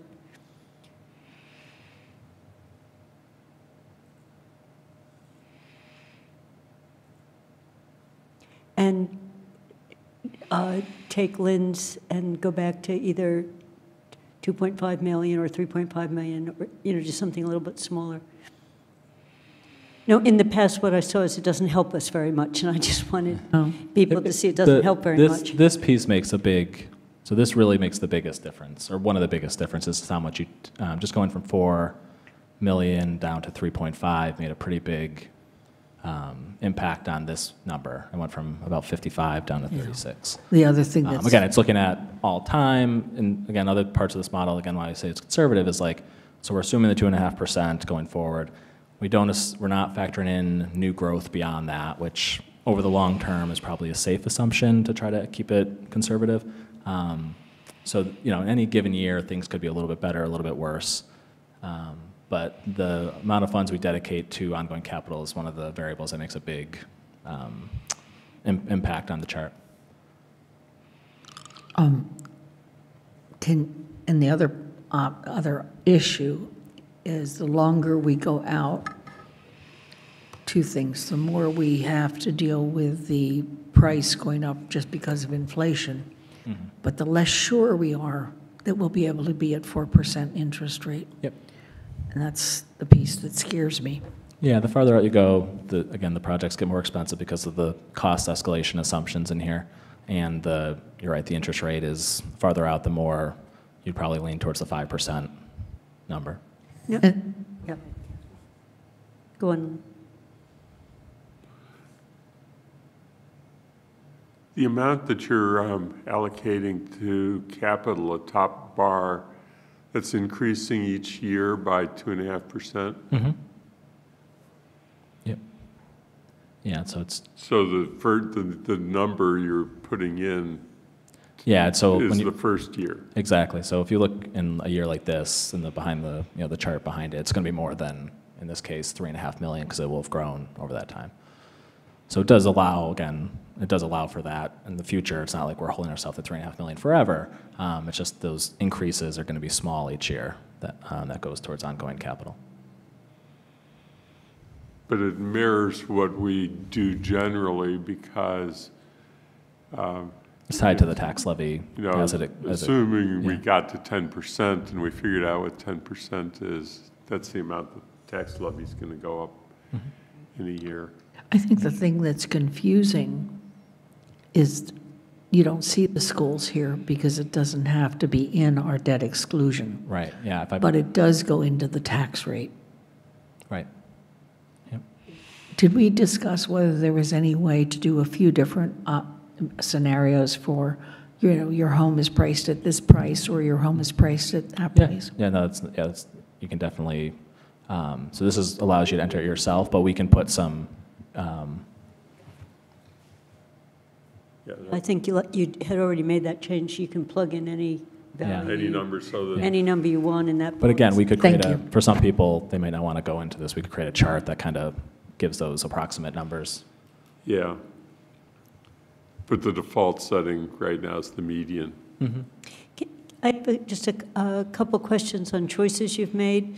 The choice to put um, the ongoing capital on top rather than the bottom, what was, you know, just what was Yeah. the reasoning? Um, I think at the, the time it was, whatever project was on the tippy top, kind of felt like it was what was pushing us over the limit, So and it so was the maybe. bad, gu- it was the bad guy or bad woman in some Yeah, way? maybe perception, a perception problem, as opposed to, I personally preferred the old way, but I understand the sensitivity. the old way, you can see sort of the ongoing capital kind of mirror the trend of the 10% levy line a I little think easier. that there's, but- an- yeah, there's an advantage to it, and that is that we all know that ongoing capital is something that we've been committed to, and that's where um, things that people understand, like roads and sidewalks, uh, keeping buildings maintained, uh, replacing equipment that wears out. Everything you do is a normal course of business.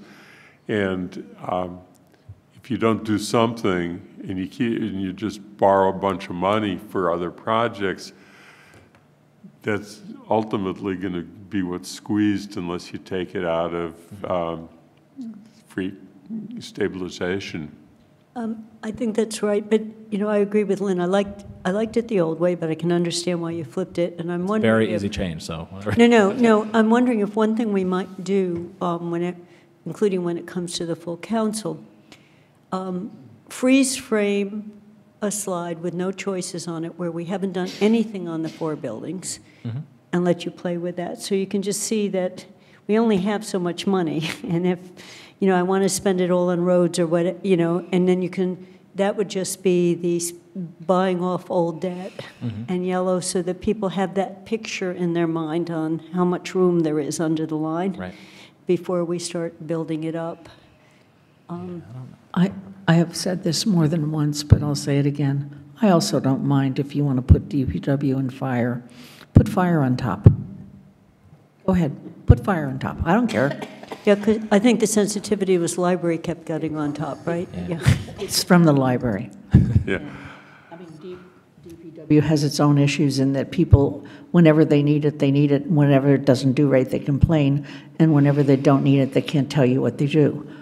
So, uh, but fire and EMS, we know what they do, and I'm, put it on top. Yeah. So the only thing I need to, I would need to do, which is again, a very easy change, is just add a zero option for the cost. I- Right now, we kind of left it so you had to model all four projects.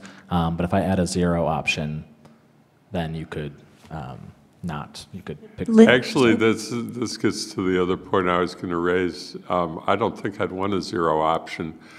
And the reason is that uh, Lynn and I have had this discussion several times, and that is, there's a cost of doing nothing, and the cost of doing nothing is built into the library, how much they've concluded needed to be spent that they have not asked to incorporate into prior C, um, bud, JCPC budgets because they were counting on this happening. So they put in an amount and gave you an amount, which is, I call the cost of doing, of not doing a project is that you have to do something to just maintain the building. So putting in a zero is not realistic for Yeah. any of these buildings. The problem is, is we haven't calculated it for the other ones. And um, I somewhat uh, feeling that we're not treating all projects equally within the model if we've created this option for one and not for the other three. So in the work that I've been doing to try to get a set of draft slides ready for us to go on the road, um, I actually have gone back through the old studies, first of the fire station, which goes all the way back to 2006. And this is where I, I, I hate these numbers. I don't think they're reliable. But in fact, we have a number for what it would cost to repair Central Fire Station or, or renovate Central Fire Station. The problem is it's a 2006 and then a 2009 number, and the multiplier's close to 6%. I don't understand that level of inflation um, an- annually. And then DPW actually do have a figure in the feasibility study that was done in 2016 um, of what it would cost to renovate the existing DPW. So um, I'm still working on those. Andy and I are going to spend a little more time looking at that. Anytime you'd like to give us, both of you, in doing this, all three of you, is most welcome, um, because um, it's hard to take a figure out of a study that's over 10 years old and place any reliability on it. Yeah. And I think for the schools, we could go back through the JCPC report from last year and go to all of the out years. Yeah, we've and got a pretty good, up. we've got a decent number for the schools. And one of the things Sonia and I um, were going to do for this JCPC cycle was for all the departments, have them include the projects that maybe were previously not included, but help us come up with those numbers for you all. So for the schools, what are the projects that, if the new buildings were built at a certain point, or the new building was built at a certain point, what kind of would come off the capital plan? And have the same analysis for each of the projects, so we can give you a rough estimate for all, all four uh, building projects. So I'm not trying, I want to go back to this, your statement on the schools. I actually think we have a better estimate for the schools by looking at the Fort River study. Yep. because the Fort River study includes a full renovation option Yeah. in it, what, it- and, and that is without zero energy Right. having to be put on it. The only question I have is, could you actually extrapolate that number to be a 600-student school? Are you going to just be bound by it being, I think it was 460 or something, was the highest enrollment that they went in any of those schools? Yeah, I'm not sure. That, that would be the sort, rather than try to go through JCPC and, you know, over the last 10 years or whatever, I, I, I would actually go to the Fort River School. I, I think there's actually a, it's a challenge to get any kind of apples and apples, because this, you could say, okay, we're not going to build a new school, we're going to put a new roof on them. Right. Put some, you know, do, That's the number that we would get from the Y- you know, JCPC is the roof number. put a whole new heating system in it, put a, you know, whatever, um, because the, the Fort River modeling on, you know, 90% renovation and 10% new, if you had to build a school that was 50% larger, it's got to be more new. You know, some part of it has to be more new because it's bigger than the current school. But, you know, so that's where you get, if you're really trying to, to fit it to a different purpose than they were just creating windows in the And, and the reality is a lot of those projects that would be sort of the alternative to a new building, they're going to be part of this process. They're not going to be all done at once. They're going to be, go through the, the JCPC process and have to get vetted and approved each year. Dorothy? It's some of the, I guess, a, a meeting we had recently, and there, there was support for DPW, by the way. Um, People do have, have a sense of how, how valuable it is. But there was some expressed worry about the stabilization fund. In your plan, does that stay strong? Yeah, so there's different ways to model it. We're trying to find at least a model that relies on the stabilization fund as little as possible, so that in the future, if there's, because again, what this doesn't model is an economic downturn, where, exactly, where state aid um, plummets or we have an issue. So we're really trying to come up with a model or options that we're not banking on using all of the stabilization fund to support, because we'd rather that be there for, if you, for stabilization if there's an economic downturn. Sean, can you scroll down to your box with the red? Because that's what you're doing in this. um, it's Yeah, it should be zero, basically, in this So case. he's, al- he's allowing it to go above, it, it stays green or yellow if it goes above our levy, as long as we're not drawing the stabilization down to zero. I mean, he's got some, you've got some. Yeah, so this is just the amount, this, so as of right now, the stabilization fund itself is not um, specifically included in here, but again, we. s- Yeah, we fact, if it's with 10 million over, again, that's just sort of my arbitrary number that I came up with, which is, I think we could make, fi- figure out a way to make it work if we were within that range. Um, If you're much over that range, then it starts being, in my opinion, more difficult to uh, figure out how to make that solution work.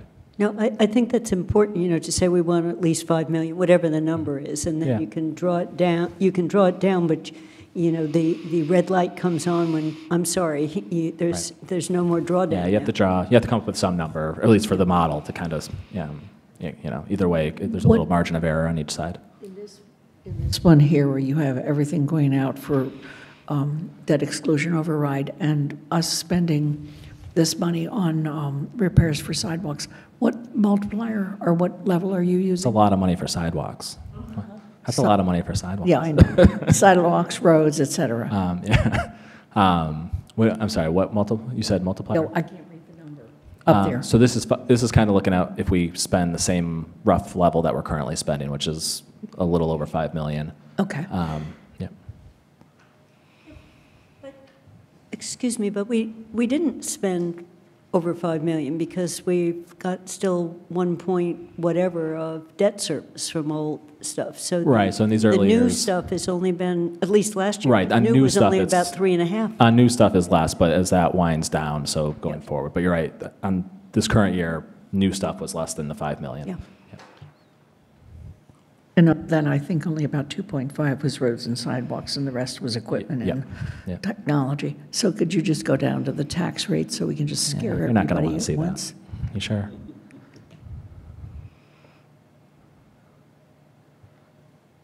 Yeah, this is- So this is if you excluded everything.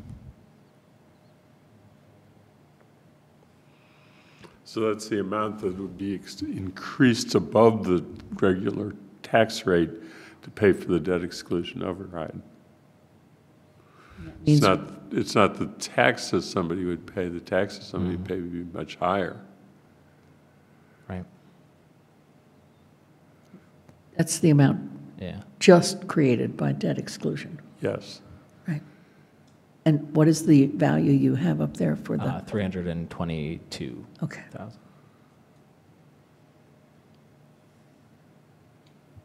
For- Got- You've got all the projects in there with the debt override? Um, I, yeah, I switched them all. So it's two of them go in 2023. So that first, the first bump up is the combination of the library and the schools, and then in 2027 is DPW, and then 2030 is fire station.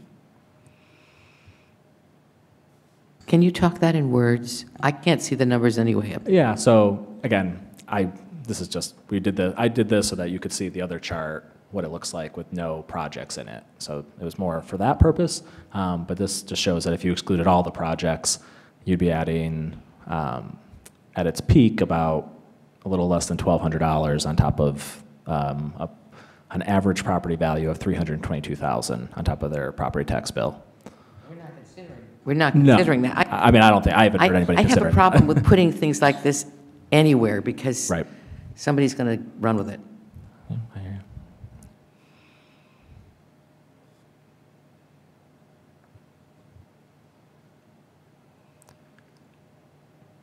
All right.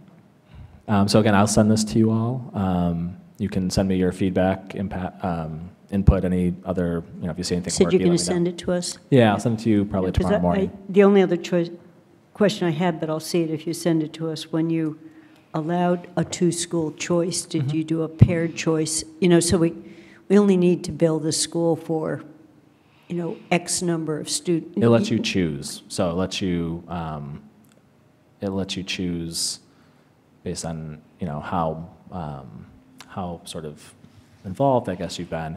You can choose, for example, 465 here, and you can choose a 315 or um, Yeah, I I guess, you know, 315 either down the road, there are a couple yeah. different ways of doing it once you send it Yeah. back to us. One is you could say, you know, if we're going to do two schools, we need either space for 750 kids or we need Mhm. space for 600 kids, depending on what you're doing in sixth Yeah. grade. So don't choose two schools that only Yeah, accommodate put that. 500 kids. You know, I mean, you have, to- you know, it's a, you, you don't have free choice on what we're building. The hard Um, part was there's just so many options. no, there's so many options, so just te- tell to- the user that, Yeah. you know, your constraints are this. Yeah, what the enrollment target should Yeah. be for, yeah, that makes sense.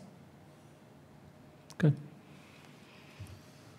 Any final questions? No, but I, Lynn, I- you know, I, I do think putting the yellow on the bottom would be good. Um, So if you put fire as the very top one, I just, I just think it's a- conceptually that not, before any of the buildings, if you want to do something, this is how much. It it just, it's hard for me to think that the remainder is everything else, as opposed to my So- options. Except But- for the fact that if you borrow money, you got to pay it back. And this is the debt that we owe. And so putting um, the debt you owe at the bottom um, is actually because you don't have a choice. And therefore, the only thing that remains flexible is cutting back on the things that you allocate year for year. And that's why it makes sense to have it on top. Except that, notice, Green is going down here because he's, ex- he's making the taxpayers pay for all, uh, you know, so you're not, we are paying for the debt, but we're not seeing it in. I'm not making them. We're not right. seeing it on the draw on our 5 million, you know, somebody's paying Cut for that that. You know what, Andy, I think you've just convinced me that I like it on top. Because that, that means now we have to go into stabilization to make, to continue to put this other, and so it makes people look at the issue of what do you give up? Okay. Because as we know, some people believe, and I'm not saying they're wrong, that roads and sidewalks are as, and vehicles are as important as these buildings, so maybe we leave it this way. Well, I think what some people might agree on uh, is that the roads and sidewalks are not um, being maintained. And, and so, yeah, okay. But it may mean that they have to under, I think what Andy's pointing out is, once we commit to any one of these projects, now we have a debt we have to pay.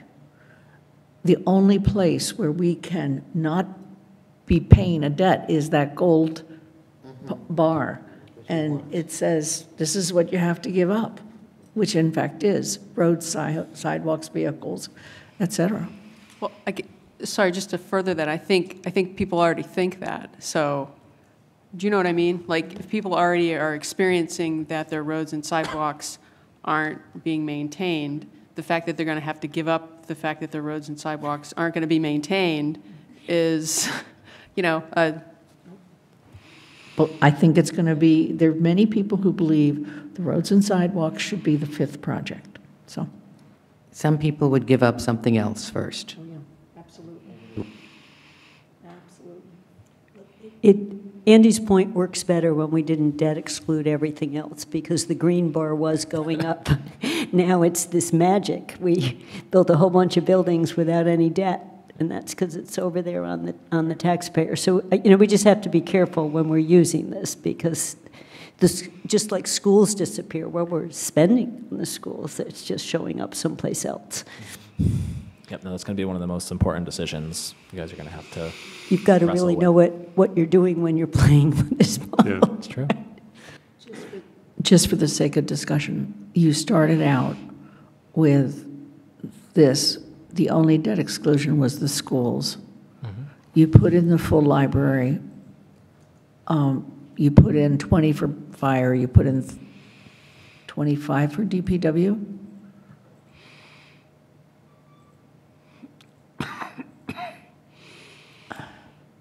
And you backed the years, and you made the years earlier like, you know, around two, 224, so forth. Maybe 224, 225.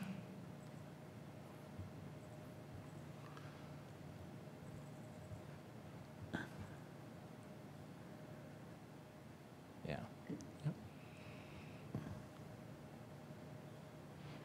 So now the only thing that's out is schools. Schools, yeah, schools are the only ones that are in the. The debt schools are down below.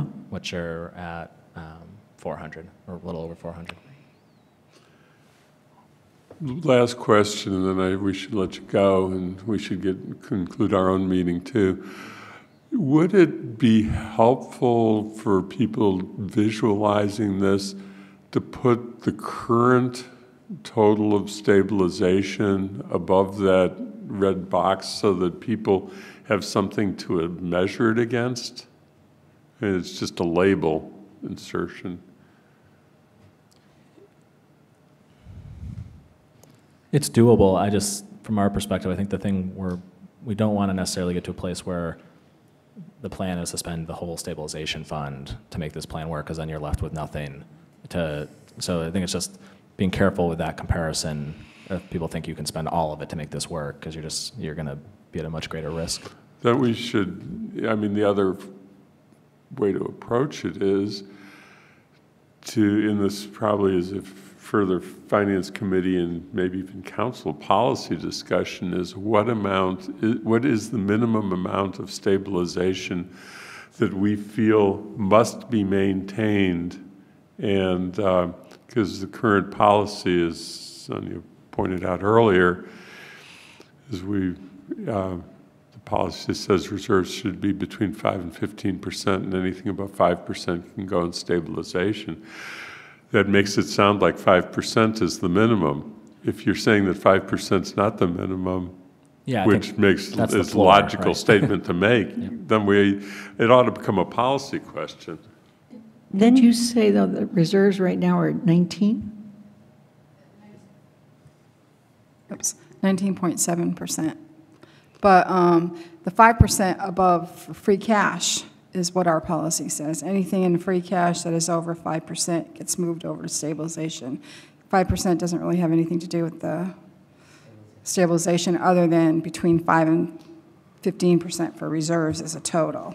So the sum of free cash. But what we could do, you know, in terms of your box, Andy, is whatever the number is, you know, we've got 20 million, 15 million in the stabilization fund, we can say the stabilization fund has as much as 10 million available, or, you know, so we've taken the 5 million out, whatever, what, you know, it would require a decision that there's as much as 10 million available, and beyond that, you don't have, we don't have a savings account. It's like I have to keep some, so making that decision on looking at what our current reserves are, saying we don't want to go below a certain threshold, then you could show the net over that as is available to, it's, we've been building up the savings account to use for this. We just can't drain it.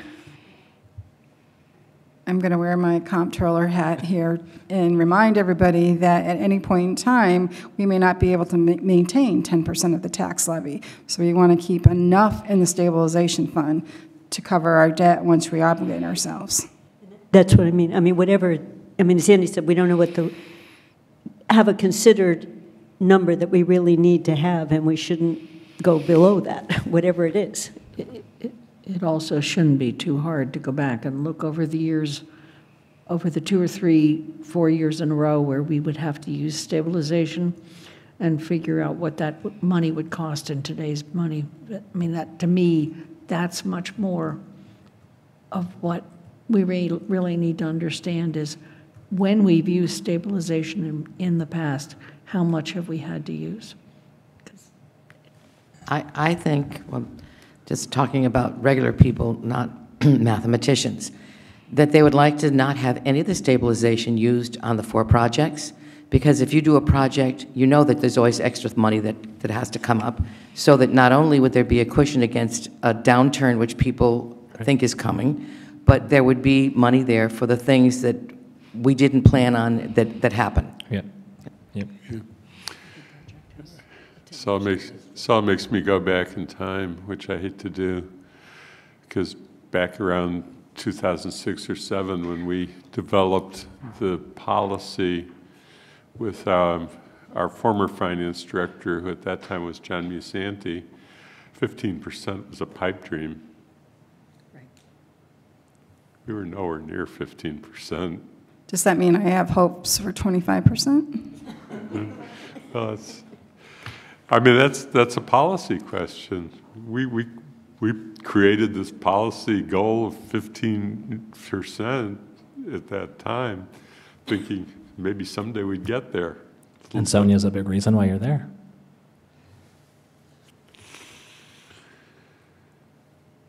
So I don't know what else to say on it. Is there other questions? Then I thank you very much. I know you have somebody who's very impatiently wanting you to get home. Do you have an She wanted to come to work today, so that's, Sean, do you have an understudy? yeah, so her, um, her daycare was, or her school was closed today, so she's either at daycare all day, or she wanted me to pick her up and shadow me for the day, so. She's very busy. Yeah. Take my daughter She, to work. she got her, uh, technology time in. Well, thank you very much, Sean, for being here and being part of this and uh, uh, all of the work you've done on this project. It has really been great, and I think it's going to be very, very helpful as we're going into our next stage, and which is what we wanted it for, as well as for our own thinking and analysis. Um, So I think we're going to do, let me just, just run, tell you where we are with the agenda, because I don't think we can, have to do anything else at this point. Um, We said that if anybody had any additional questions about the year-end fourth quarter report, they could raise them again at the next building. The percent for arts, I just wanted to mention that um, most of what we're talking about in the current version, and Kathy will add to it as chair if, uh, if she thinks I'm really being too brief, but I'm trying to be brief, is that um, it's new buildings. New buildings are funded one of two ways, which we've been talking about. And the chart current a chart currently has an amount um, available to calculate what you've debt excluded. And I think that what we probably need to do is figure out um, some way of demonstrating what the cost is for buildings that we're building that are not debt excluded, how much the annual additional increment will be on bond expenditures and uh, for payback, and we'll work with uh, Sonia on that. And uh, that'll allow us, when the process gets further, to be able to contribute our piece of talking about cost, because we're going to be more about cost than policy probably at that point, even though um, Mary Lou feels a little bit more strongly on the topic. Um, But go ahead, Kathy, and So, I'll- and I just, I'll preview, we're, we're hoping to get a revised version back to finance a couple weeks from now, um, if, or within that, but the two big changes we've made from the original to respond to concerns about the total cost is that it only applies to a project that's at least a million dollars. We raised the threshold, that would be debt finance, so we're spreading the cost out. And then we put in, I called it uh, initially an escape clause. If the council and the manager determines right now we can't, we can decide not to by a majority vote. So it, it specifically allows, uh, on a project-by-project basis, and then the, the third piece is some people were worried that the art project development might slow down the implementation of the major project. So again, it can be canceled if it can't be done in a timely manner. You know, so we put some things in that are protective in terms of total total. So that's what Annie is saying. Then you can model it, saying if you're financing an art project over 20 years, it's in any given year, it's not a lot of money. So, but that's what's going to be coming back in terms of some fairly substantial changes from uh, uh, create a fund and have to appropriate every year. So I will um, work with Kathy as chair of the ad hoc committee, and uh, we'll see, talk to Sonia about any help we need for modeling the financial piece for percent for arts, and that will come back on a future agenda and be a more informed discussion that way. Um, The scheduling for next year's meetings we'll take up at a future meeting. And uh, so the only last thing is, uh, Lynn, did you have anything you wanted to um, say to the committee or ask the committee regarding the update on, uh, in preparation for scheduling of the listening sessions on major projects? Right, so um, uh, some of us have been working very hard to get ready for uh, taking this out on the road. On November 18th at 5:30, we're going to do, um, for anybody who wants to attend, it's the hour before the town council actually meets, but it'll be an official meeting of the town council, because there will probably be a a majority. We're going to do a thing where we basically say, here's the, um, um, here's the PowerPoint, and here's the script, and here's how we're planning to approach these meetings, et cetera. We are not going to do the video at that point because we don't want to do a video and then have to go back and change it. So, but we're doing the video within like two days after that. And then we actually, and I'll send this, have Andy send this, or you send this to you. We've actually set four dates for listening sessions. The first one is December 3rd, which is um, both in the afternoon and then the evening, two different meetings. And then December, Monday, December 9th, again, two different meetings, one in the afternoon and one in the evening. And um, this is where we basically, and we invite you to come and join us, we basically sit there and say nothing, uh, but listen, like the schools did. And um, the schools and the library are also invited to come and do the same. Um, and the facilitator that is working with us is the same one that they used for the schools, although they have screened out a person that did not work that well because they were too familiar with Amherst. So they kind of kept wanting to lead the audience. Um, and that doesn't work for us. So um, this is going along very well. Kathy's working with me on some of this. Um, and Andy and I have a big thing we need to do, but I wanted to just uh, alert you to that. The other thing, let me just mention too, is that there will be a formal invitation sent out for the December 2nd State of the Town uh, meeting. It'll be a meeting of, a special meeting of the council, and it'll be, the town manager and myself have to do by charter a State of the Town address, and then also the library and the uh, schools are going to be doing uh, annual reports of their year as well. So What times it start? that one starts at 6:30.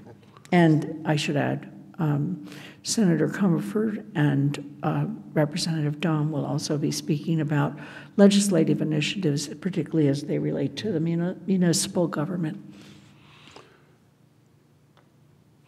So, um, no public to comment. Is there anything else that anybody from the committee would like to report on or ask? And if not, um, I think for this meeting, we um, can be adjourned, and I think I'll just declare it without a motion that we're adjourning at 4:50, and I want to thank Amherst Media for providing coverage, because I do know from questions that I received that a lot of people appreciate Amherst Media doing this for us, and I want to thank our note taker and uh, Sonia, who's provided our support, and um, we're adjourned. Thank you.